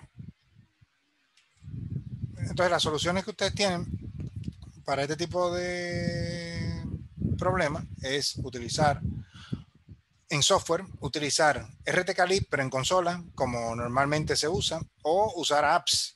Pero las apps las apps que ustedes pueden usar, nada más la pueden usar como por ejemplo de empresas como Emlit, ¿no? Eh, y usando los receptores de Emlit. Emlit es una empresa que creo que la mencioné en la clase pasada, es una empresa que provee em, aplicaciones, eh, o sea, que provee receptores U-Blocks, receptores U-Blocks em, metidos dentro de un case muy, muy bonito, la verdad, y muy bien, muy bien diseñado y con una aplicación bastante eh, eh, funcional, ¿no? Pero realmente eh, dos mil dólares es el tema, ¿no? O sea, ahí ya nos tiramos para arriba, ¿no? Entonces, claro, ese es el tema, ¿no? ya, bueno, un poquito más, bueno, más barato que un Trimble, que un Leica, que un Topcom, pero no mucho más barato que un Sino GNSS. Así que bueno, pero nada, también uno puede comprar este receptor, el Rich M2, multibanda, por ejemplo, no el single band, el multibanda, y ya ustedes tienen acceso a la aplicación Android de ellos. Si ustedes no tienen acceso a nada de eso, pues tienen que hacer lo que estoy haciendo yo. O utilizar aplicaciones hechas por otro o aplicaciones que yo mismo estoy programando. Yo hice este fork, que ustedes pueden entrar en él. Yo hice, perdón, esta aplicación que es usa Bash, usa la shell de Linux, la consola, vamos o usar RTK Base, que es un, y yo tengo un fork hecho por mí que yo estoy adaptando para que funcione bien como en terreno. Entonces, en hardware ustedes lo que tienen que usar, por supuesto, no es llevar una computadora grande, ¿no? Sino que tienen dos, tienen varias alternativas, pero yo veo dos viables, ¿no? Una por un lado, una alternativa que sería eh, meter el receptor set F9P en una cajita, alimentarlo con 5 voltios y ponerle un, eh, conectarle un receptor de Bluetooth que se conecte con tu teléfono y entonces tu teléfono le mande las correcciones RTCM al receptor. Cuando le mande las correcciones RTCM al receptor, van a entrar primero por el teléfono, la base está encendida, ok, asumimos que hay una base encendida, van a entrar a tu teléfono, estoy hablando con la mano, eh, van a entrar realmente a tu teléfono, cuando entren a tu teléfono, van a pasar de tu teléfono al, al aparatito Bluetooth y del aparatito Bluetooth que entren por un puerto de comunicación serial UART, se denomina ese estándar, y eh, entrarán al receptor U-Blocks. Entonces el receptor U-Blocks eh, va, está recibiendo ya las correcciones de la base, también está recibiendo por la antena las señales de, de las constelaciones NSS, él a lo interno genera una solución y la devuelve por el puerto USB. Y las devuelve en un formato denominado NMEA. evidentemente las correcciones se, recomienda que entren por un lado y que las soluciones salgan por otro lado. Más o menos una especie de RTK Navy, lo que uno está haciendo al usar la solución interna de U-Blocks, lo que uno está haciendo es como ejecutando un pequeño RTK Navy dentro del procesador set F9P.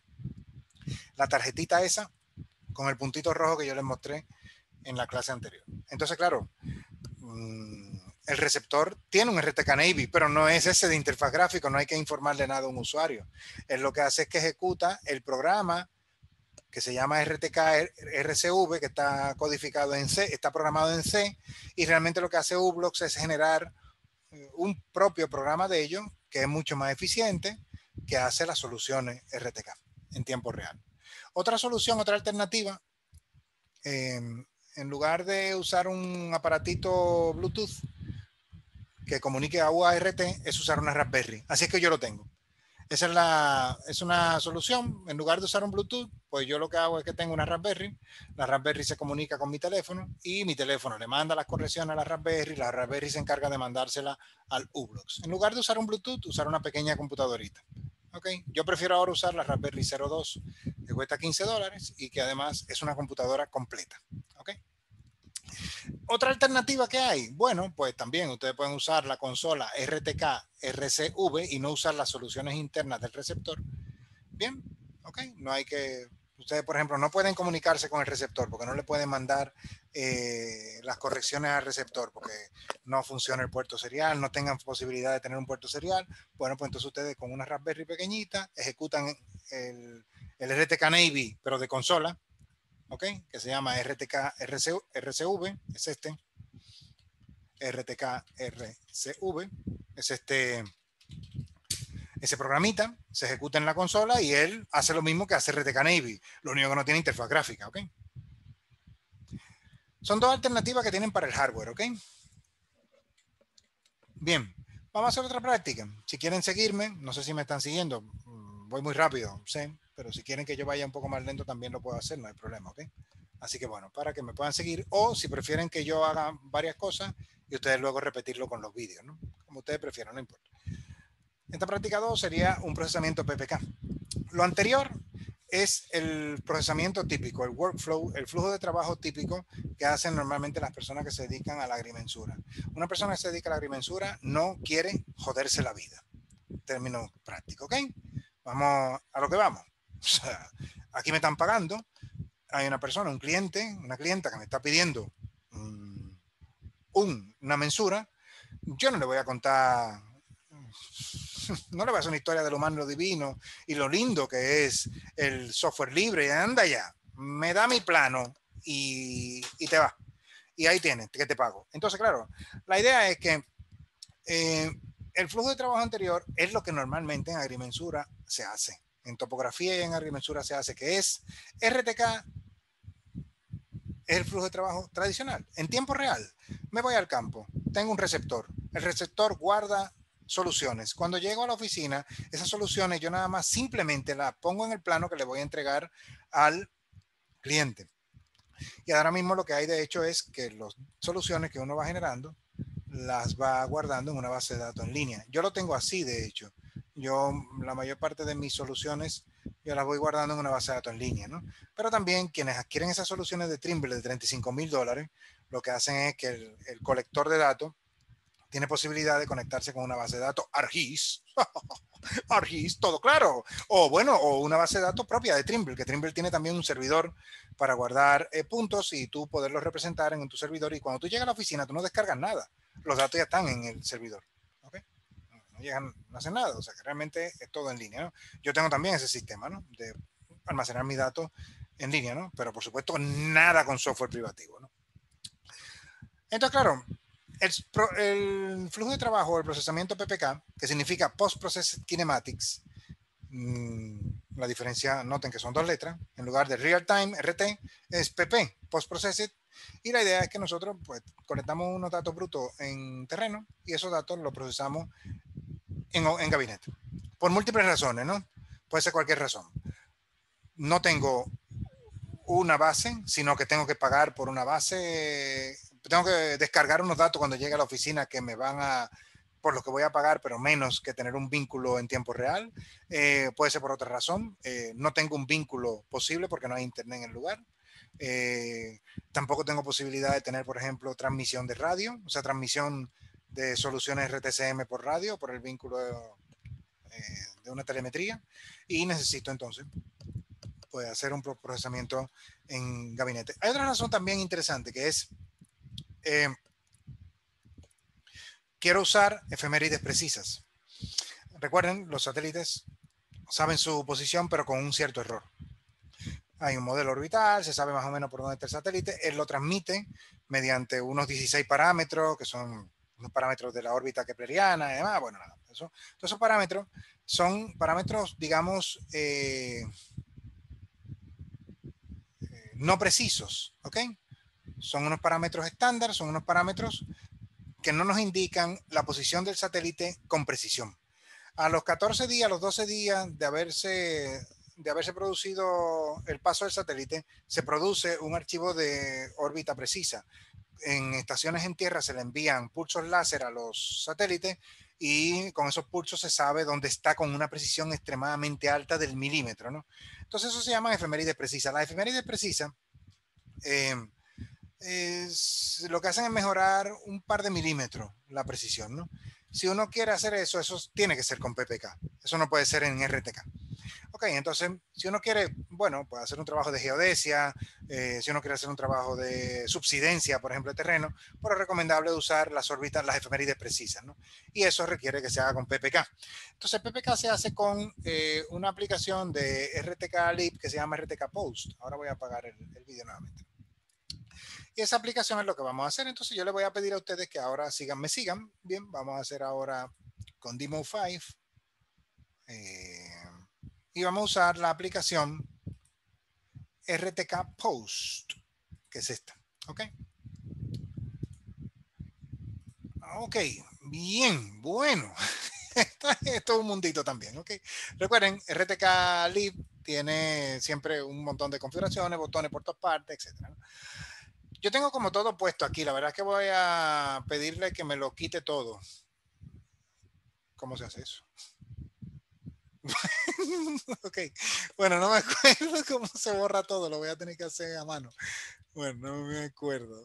Yo quiero borrarlo todo. Es que yo no hago normalmente esto por aquí, lo hago por la consola, pero eh, hay un botón en algún lugar que borra todo. Si ustedes lo descubren, compártanlo.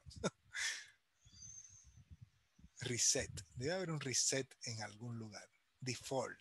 No sé, bueno, no lo encuentro. Ok, bueno, nada. Entonces, bueno, Demo 5 eh, tiene un RTK Post que es un poquito más eficiente. Recuerden, el fork de Team Everett es bastante más eficiente en muchas cosas que el original RTK Lib.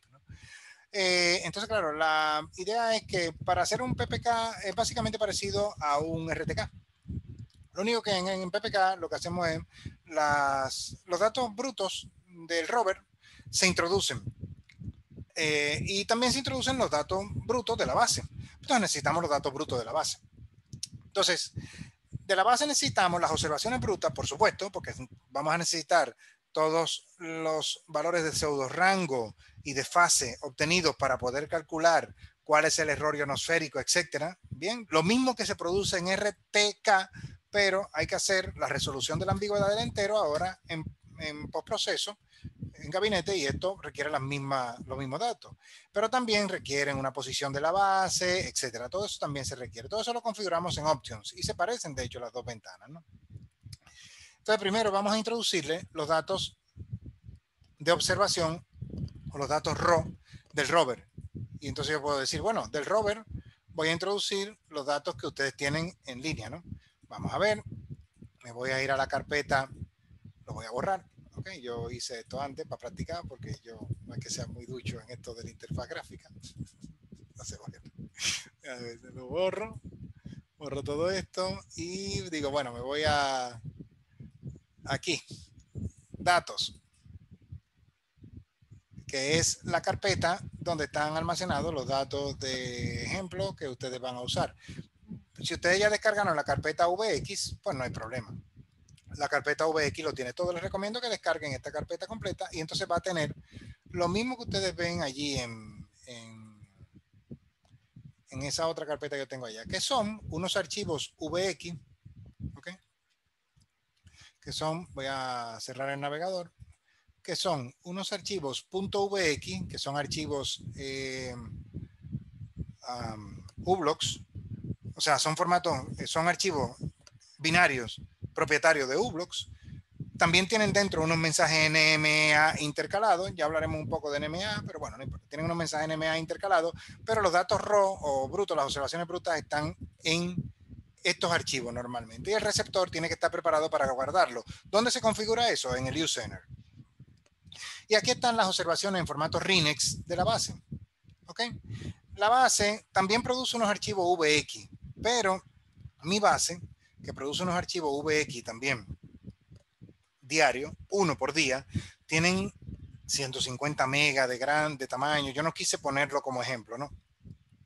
Hay que convertirlo de binario a RINEX para uno poder observarlos antes de hacer el proceso. Se puede trabajar con VX, pero es bueno convertirlo a RINEX. ¿Qué es un formato RINEX? Un formato RINEX es un Receiver Independent eh, Exchange Format. Un formato para poder intercambiar eh, observaciones. Lo bueno es que usted se lo goza, dice Sader. sí, es así.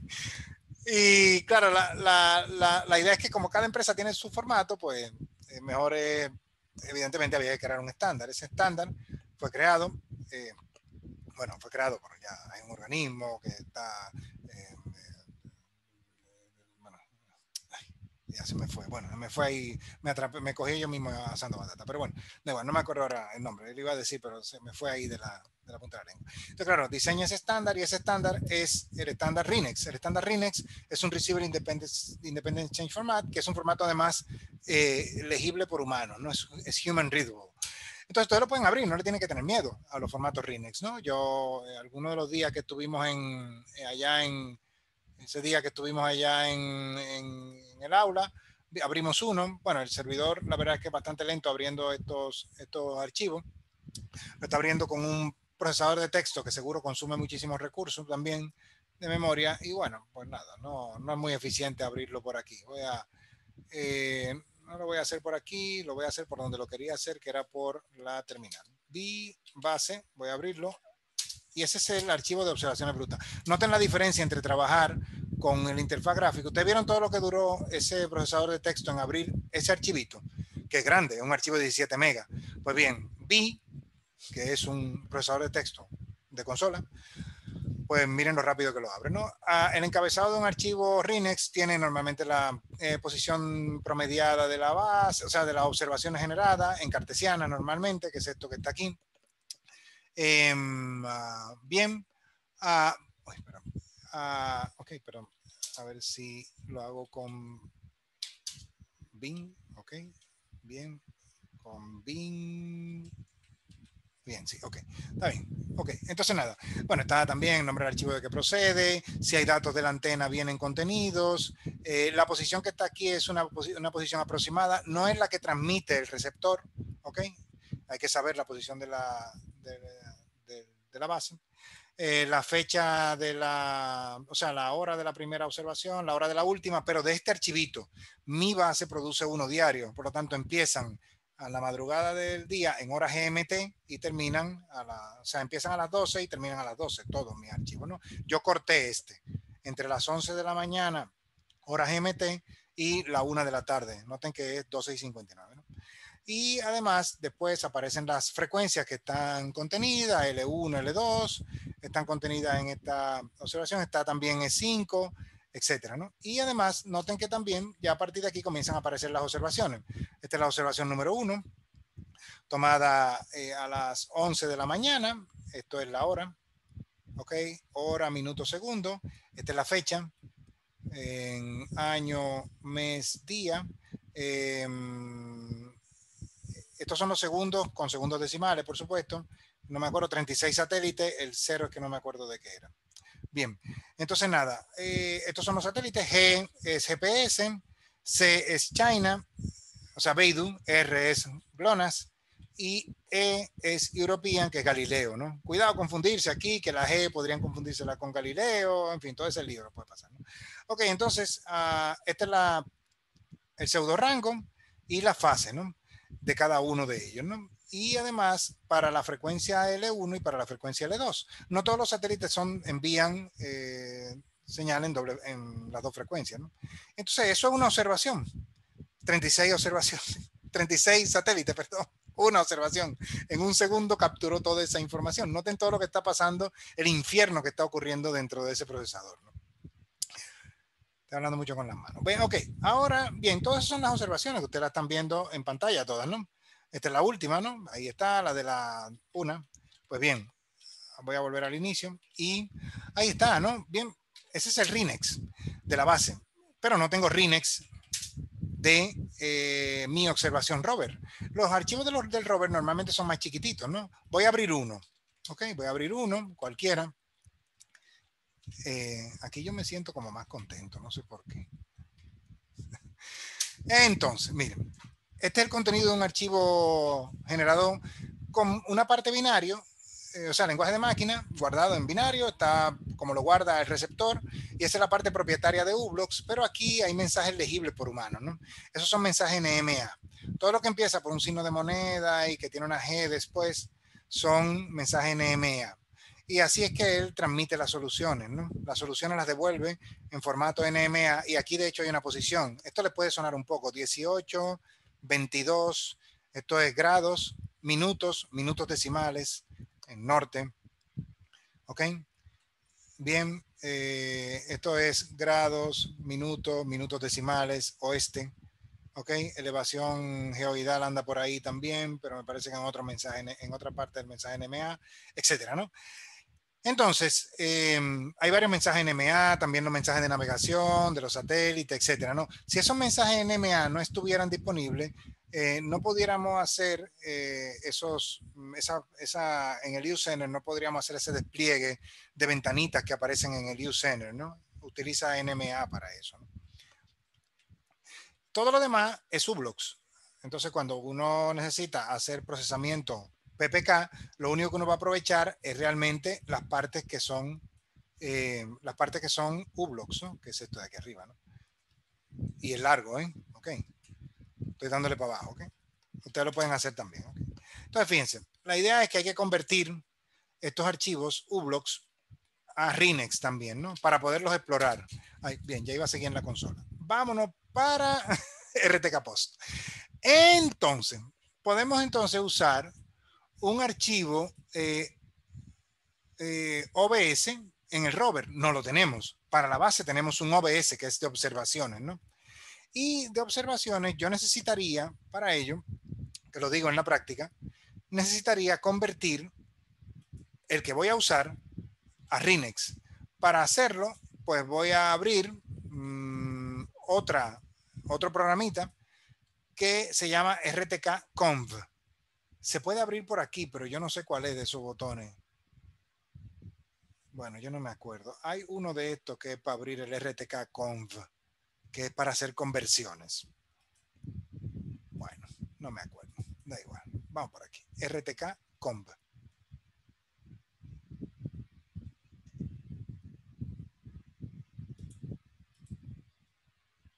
Este es un conversor de formatos propietarios a formato Rinex, ¿ok? Entonces, eh, yo voy a empezar con todo, o sea, con todo vacío, ¿bien? Hay que poner opciones, por supuesto. Y para hacer la conversión, lo primero que voy a hacer es elegir el archivo, ¿no? Voy a elegir uno de los archivos que ya tengo descargado, ¿no? El primerito, el que se tomó a las 7 y 31 de la mañana, hora dominicana, pero eso es 11 y 31 hora GMT.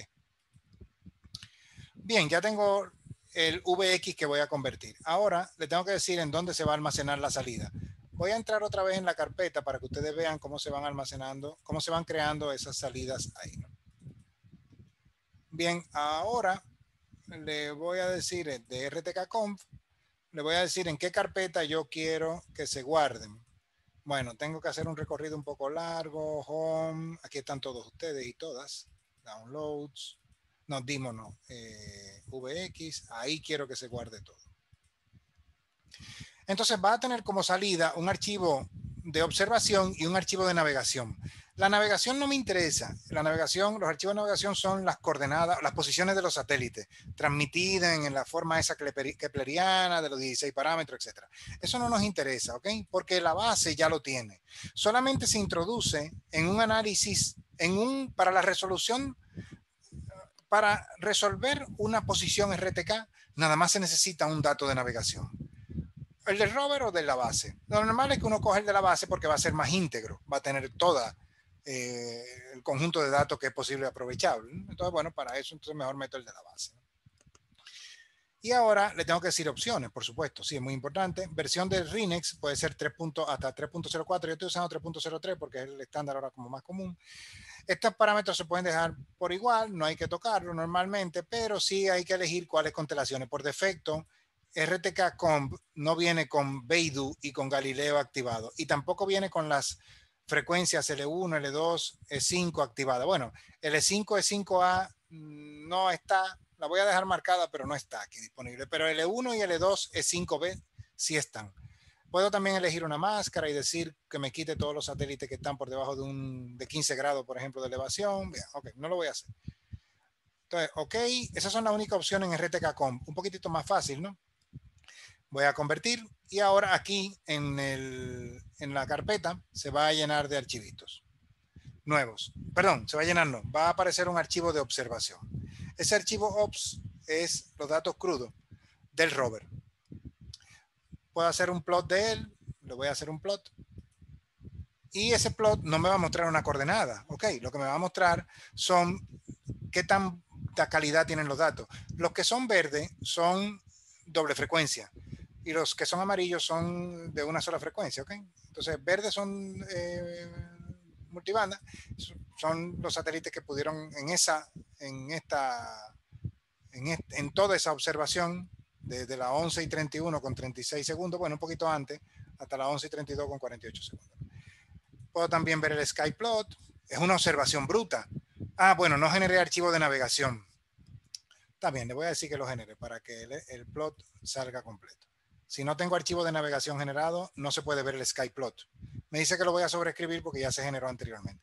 Ok, generé el de navegación, voy a hacer un plot y voy a tener, por supuesto, ahora el skyplot lo voy a poder tener disponible. Entonces, ahora el skyplot están los satélites, como se veía en el firmamento durante ese intervalo de tiempo que yo estuve colectando datos en el terreno, y el dilution of precision, muy importante, está multiplicado por 10 aquí, ¿ok? Pero el dilution of precision, lo normal es que uno siempre quiera que sea por debajo de 3. En este caso, por debajo de 30, porque está multiplicado por 10, ¿ok? Eh, bueno, uh, y luego está el signal to noise ratio, que es importante también evaluarlo. Si hay una relación señal-ruido muy alta, eh, bien, pero si la señal ruido es baja, o sea, la relación señal-ruido es baja, pues entonces estamos recibiendo más ruido que señal real. Ah, bien, cierro el plot. Es únicamente un sanity check. Eso es simplemente eh, una revisión de seguridad para estar seguro de que nosotros estamos em, operando con datos que tienen sentido, porque podríamos tener un montón de gaps en el medio, tenemos que verlo y demás. ¿no? Noten que además aquí se produjo un resultado. Bueno, prendí la cámara por un segundo nada más, pero no hace falta. Hay 88 observaciones, una por segundo, por lo tanto hay más de un minuto de observaciones y hay un total de 30 satélites observados aquí. Si le doy al botón Process, me abriría RTK Post, pero ya yo tengo RTK Post abierto, ¿ok? Process me dice procesalo si tú quieres. Tú empiezas normalmente por RTK comp. Como yo tengo RTK post abierto, bien, pues nada, voy ahora a cargar únicamente como datos de navegación. Bueno, el recorrido en el caso de usted seguramente va a ser un poquitito más corto que el mío. Voy a localizar mi carpeta donde están todos los datos.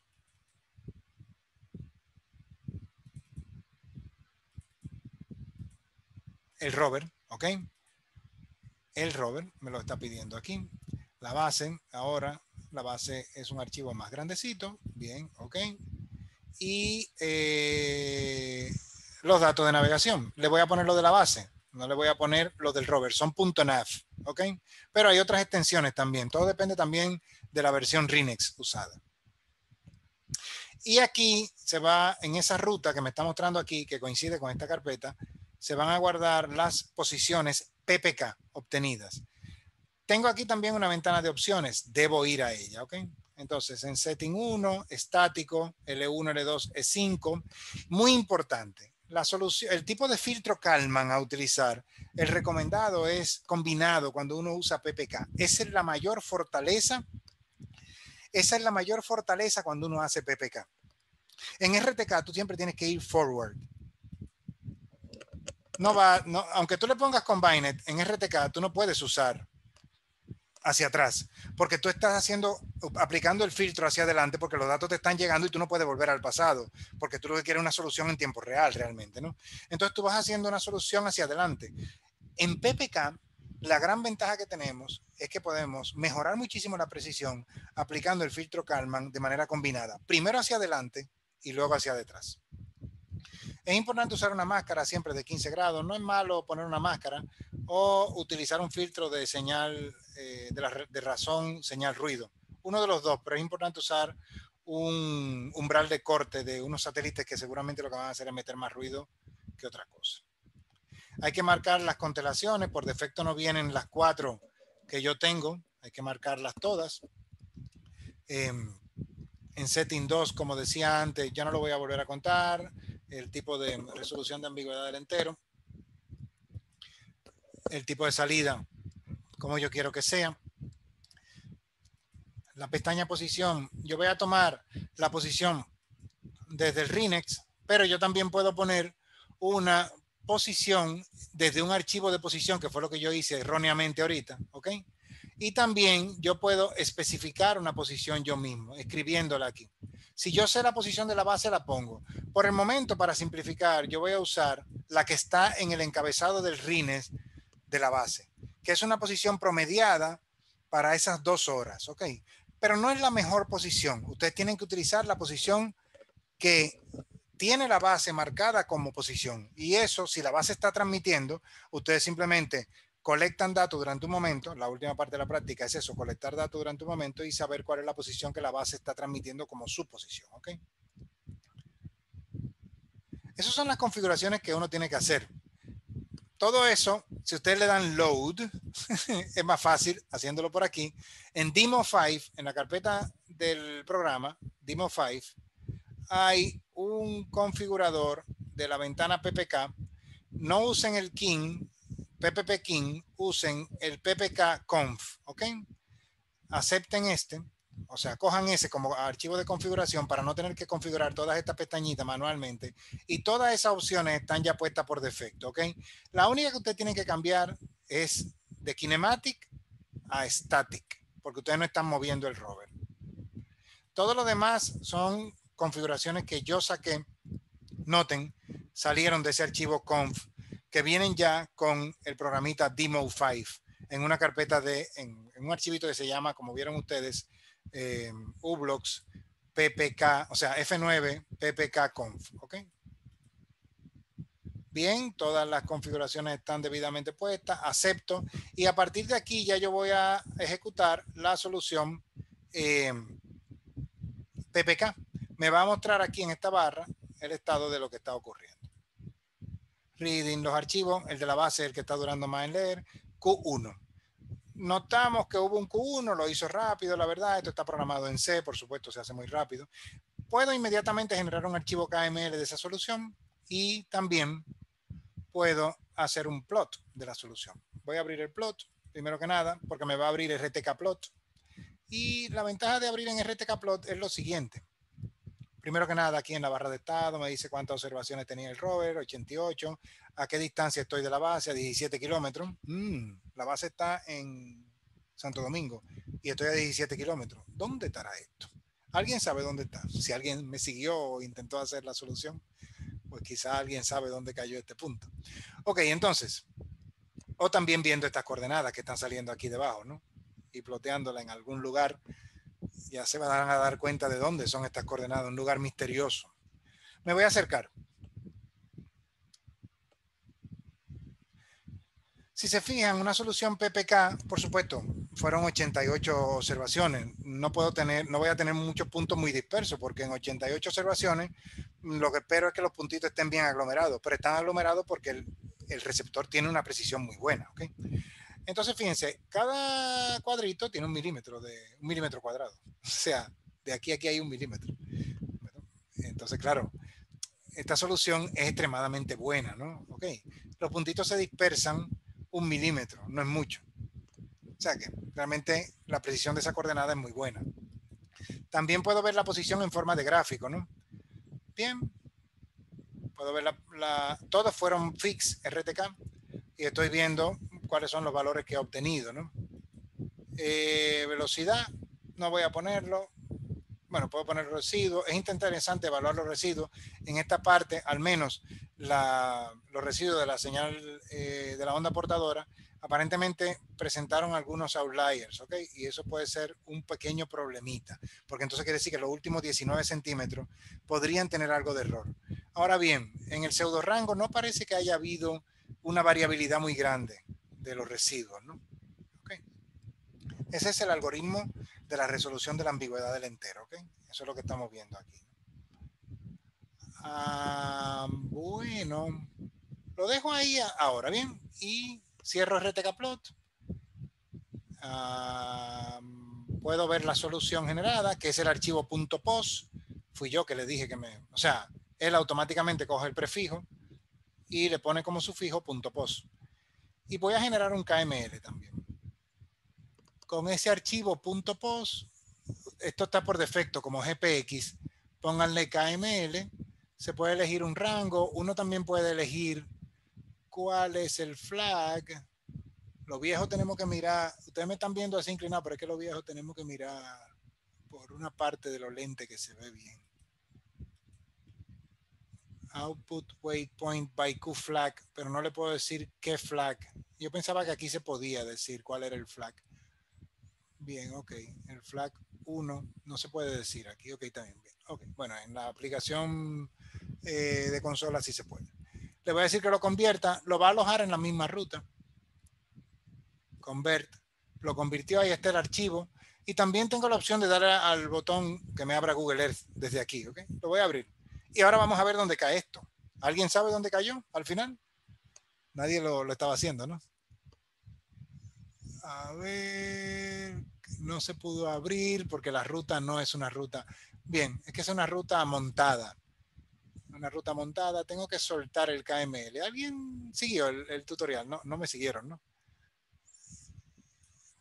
Ya me he ido acostumbrando a andar solo para todas partes. Bueno, nada, yo supongo que lo seguirán cuando lo reproduzcan el vídeo porque la verdad es que voy muy rápido, ¿no? Ok, entonces, vamos a ver.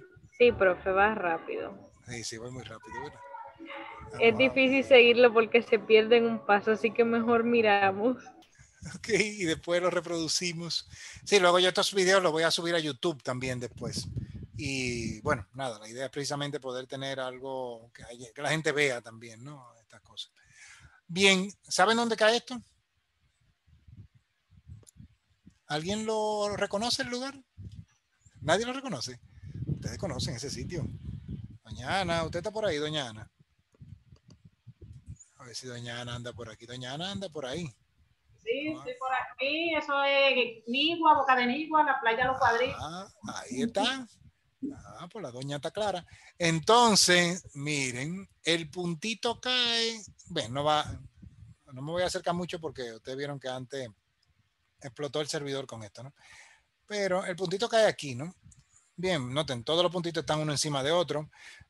Intentaría quizá irme acercando Mm, no mucho, ¿verdad? Hasta ahí. Y eh, con la idea de que ustedes vean que precisamente el puntito no tiene dispersión. Si ustedes hacen eso con otros GPS, no les va a ocurrir eso. Ok, ah, eso es un PPK. Esto no es el flujo de procesamiento eh, común, normal, bien, es un flujo de procesamiento que no es, digamos, el habitual, ¿no? Si usted tiene que hacer esto para 40 archivos, hacerlo con interfaz gráfica ya es un problema. Entonces, normalmente uno, uno lo haría por vía de la, de la, de la consola. Bien. Por último, hacer un streaming. Voy a, hacer, voy a meter esta parte de la práctica bueno, ya sé que es hasta las 5, pero si se tienen que ir, bueno, no hay problema. Pero eh, voy a hacer esta última parte, que es, uh, que consiste en lo siguiente. Si me vuelvo al servidor otra vez, voy a cerrar aquí, ¿no? Hay formas de evaluar, no lo voy a detallar aquí en esta ocasión, hay formas de evaluar cuál es el error estándar. Yo tengo un script de R creado que tengo almacenado en un Docker para evaluar cuánto es el error. En fin, tengo, tengo varias eh, formas de evaluar este error de manera muy, muy precisa, incluso utilizando algoritmos de bootstrap, eh, etcétera. Hay muchas, eh, sí, decía eso, que se le iba a descargar el teléfono a Nicanor. Hay muchas posibilidades, ¿ok? Para evaluar el error, pero siempre sale por debajo del milímetro, dos milímetros el error, ¿no? Bien, finalmente esto, el streaming, como última parte de la práctica, hacer un streaming con tanto la interfaz gráfica de RTCalib como la de consola. Esta es la que uno usa cuando está en el terreno. Y esta es la que vamos a usar ahora para evaluación simplemente. ¿no? Entonces, bueno, lo que voy a hacer es lo que dice aquí, un streaming. Em, voy a usar el rover como forma para hacer el streaming y lo voy a hacer con esa aplicacióncita que dice el talibán ahí. Cierro todo esto. A ver, aquí, ahora él dice que use la aplicación, ¿cuál fue que dijo el hombre? STR, SVR. String Server significa. eso genera un string, un servidor de streaming o de transmisión. Ok, la traducción sería esa, ¿no? Aunque transmisión no me gusta como palabra porque también hay recepción, pero bueno. Entonces, em, yo creo que yo tengo todo esto lleno de cosas. La verdad es que no me conviene. Ok. Porque eh, lo prefería por defecto. Ah, bueno. Bien, miren, lo voy a hacer, voy a hacer esto. Creo que si hago esto y ejecuto otra vez, no aparece con nada, porque ese es el archivo, el punto .ini es el archivo de definiciones, sí, correcto. Ok, entonces ahora voy a decir un, un stream de entrada. En el servidor de streaming yo puedo tener una entrada y varias salidas, pero no puedo tener varias entradas y varias salidas, ¿ok? Tiene que haber una sola entrada. Entonces voy a poner una entrada que va a ser un eh, servidor TCP, o sea, un cliente TCP, perdón. Ese cliente TCP lo voy a poner como mm, el rover. Lo, lo, dejo encendido además eh, para ustedes si quieren practicar luego. ¿ok? 3001. Y además aquí no hay que poner más nombre porque no hay mount point ni nada de eso. Simplemente el, la dirección TCP y el puerto. Yo puedo guardar lo que vaya saliendo de él en este lugar. Ok, en log. Y también puedo configurar opciones. No hay muchas que configurar, sobre todo el tamaño del buffer, etcétera, ¿no? Imagino que apagar esto porque ahora que voy a hacer streaming, parece que el vídeo no conviene. Y entonces, claro, yo puedo disparar ese streaming que yo recibo, lo puedo disparar hacia otro lugar. Entonces yo puedo generar un caster yo mismo recibir la señal de un lugar y enviarla a otro lugar. Yo no voy a generar salida, simplemente voy a generar entrada. O sea, voy a generar entrada y voy a explorarla, a ver en qué consiste. Le voy a dar Start, me dice que sí. Cuando ustedes ven que aquí no hay E, no hay error, no hay problema y aquí están cambiando unos numeritos, quiere decir que hay una comunicación correcta. Esto lo que está diciendo es cuántos bytes se han recibido hasta ahora desde que le di al botón Start y a qué tasa de BPS. Eso es bauts por segundos, baudios por segundo, ¿no? Ok, esta normalmente va a fluctuar entre, entre 45 y 60 BPS y esta va a ir creciendo de manera incremental, ¿ok? Yo puedo ver qué se está recibiendo. Puedo tener en el stream monitor, simplemente, puedo ver en qué consiste este stream y me va a decir la misma información que está mostrando aquí, los bytes recibidos y los bauts por segundos, los baudios por segundo, me lo muestra aquí, pero yo puedo cambiar también qué recibo. Si el resumen del string, si saben código hexadecimales, pues por aquí también puede ver lo que se está recibiendo. Pero bueno, por supuesto, en ASCII es un poquitico más razonable.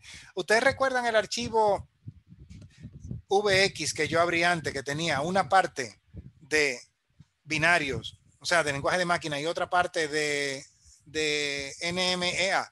Pues bien, es esto lo único que no se está guardando en un archivo, se está únicamente recibiendo y él está mostrando el resultado de ese streaming. Genera un buffer, ese buffer lo guarda durante un momentito, luego lo va borrando y lo va sobreescribiendo uno sobre el otro. Entonces, fíjense, con esto yo, con el stream, con el servidor de streaming, lo que yo puedo es comprobar que mi eh, base, por ejemplo, o mi receptor, o cualquier aparato que esté transmitiendo, está transmitiendo bien. Voy a cerrar aquí un momento. Voy a parar. Y voy a guardar. Ahora le voy a decir que me guarde en un lugar. Me haga un guardado de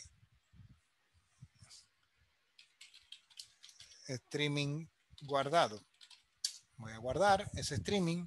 Le voy a decir que lo guarde con .vx porque es un formato .vx. Le voy a dar play nuevamente y aquí arriba en la carpeta descargas se va ahora a ver un archivito nuevo. Ese archivo nuevo contiene ahora el streaming. Yo puedo ver el streaming también a la vez. En la, medida que se va grabando también puedo ver lo que, lo que está saliendo. Por supuesto, ya saben que RTK en lo que consiste es en un montón de comunicaciones al mismo tiempo. ¿no? Y por eso a uno le interesa tener un servidor de transmisión. Tomoji Takasu invirtió muchísimo tiempo en crear el servidor de transmisión precisamente porque es importante tener una transmisión, un vínculo en tiempo real. Voy a darle stop y ahora lo que tengo es un archivito muy parecido al que yo tenía antes, ¿no? Lo voy a abrir con, con Bing y el streaming es esto. Ay, coño. Em, el streaming es eso. Ahí lo pueden ver. Es un archivito con una parte de mensaje NMA y una parte de lenguaje de máquina. ¿Cómo, em, ¿Cómo yo puedo ahora convertirlo? Bueno, o puedo usar RTK Comb o uso la consola y le digo que me lo convierta. Esto lo que va a hacer es generar un archivo de observaciones brutas que fueron colectadas en este mismo momento en formato RINEX y el archivo de, de los mensajes de navegación de los satélites. Entonces, lo mismo, un RINEX, bien, ok, de este momentito nada más. Ok, la primera observación del 21, de, perdón, del 10 de diciembre empezó a las 21 horas con 4 minutos, hora GMT, y terminó a las 21 horas con 5 minutos, 9.99 segundos. Eh, y está el archivo también de navegación que tiene las efemérides de los satélites, que son mensajes que los satélites envían, ¿no? ¿Cuáles son eh, los mensajes de navegación que ellos tienen? ¿no?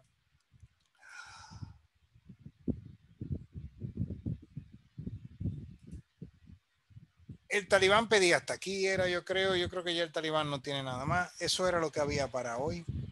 Yo no tengo más nada. Si hay preguntas, yo, si hay preguntas, no terminamos ahora mismo y si no hay, ya podemos dar por cerrado el día de hoy.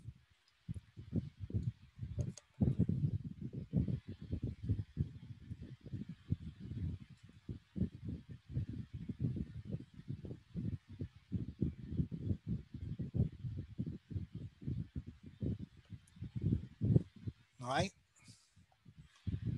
No veo nada en chat tampoco.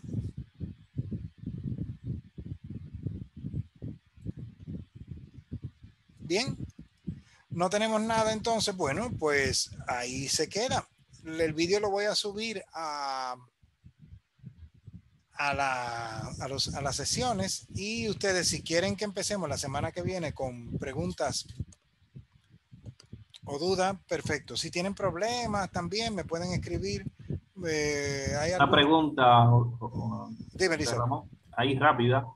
Eh, bueno, yo entré un poquito, un poquito tarde, entonces pude, por lo menos pude eh, subir el, el programita eh, de RT, RTK, de la página esta, rtkexplorer.com. Sí eh, donde hay una laptop, tiene el, el, el, de la página, tiene una laptop con, un, con dos dispositivos a, a cada lado.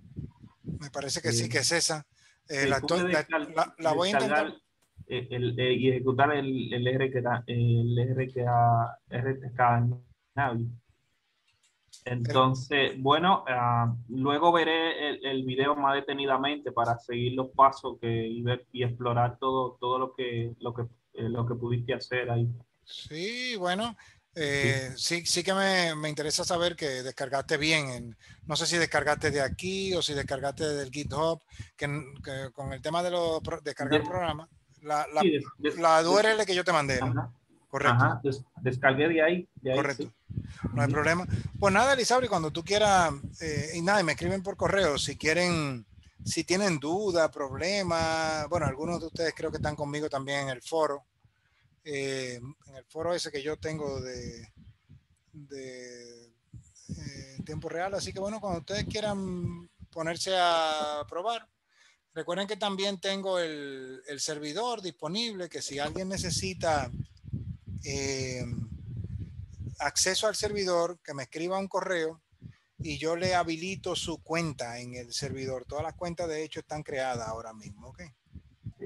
Tengo una máquina virtual de Ubuntu eh, eh, sí, sí. creo que de ahí se puede puedo trabajar el, el sí, sí. tema de, de, entrar al servidor. Sí, sí, claro que sí. El servidor, de hecho, puedes entrar al mi. Tú puedes entrar, o sea, si tú quieres usar tu máquina Ubuntu, bien, perfecto, Elisauri, y tú puedes hacer todo desde tu máquina Ubuntu. Eh, y también lo puedes hacer de tu máquina Windows. Y quienes no tengan acceso, o quienes no puedan instalar todos esos programas o prefieran usar el servidor, solamente me dicen y yo le habilito su cuenta. No sé si, eh, si ustedes la quieren, solamente tienen que instalar en sus computadoras, por supuesto, tienen que instalar un cliente con el que se van a comunicar con ese servidor que se llama un cliente, se llama X2Go. X2Go. Lo piden y yo se lo habilito. Pues nada, el rover va a quedar encendido, la base está encendida eternamente hasta que los ladrones me roben el cable. Pero de momento todo está encendido, así que ustedes pueden practicar. Nos vemos el viernes que viene entonces, si no hay más cosas. Nos vemos el viernes. Nos vemos. Muchas gracias. De nada. Ya se escucha el ambiente, oye. Sí.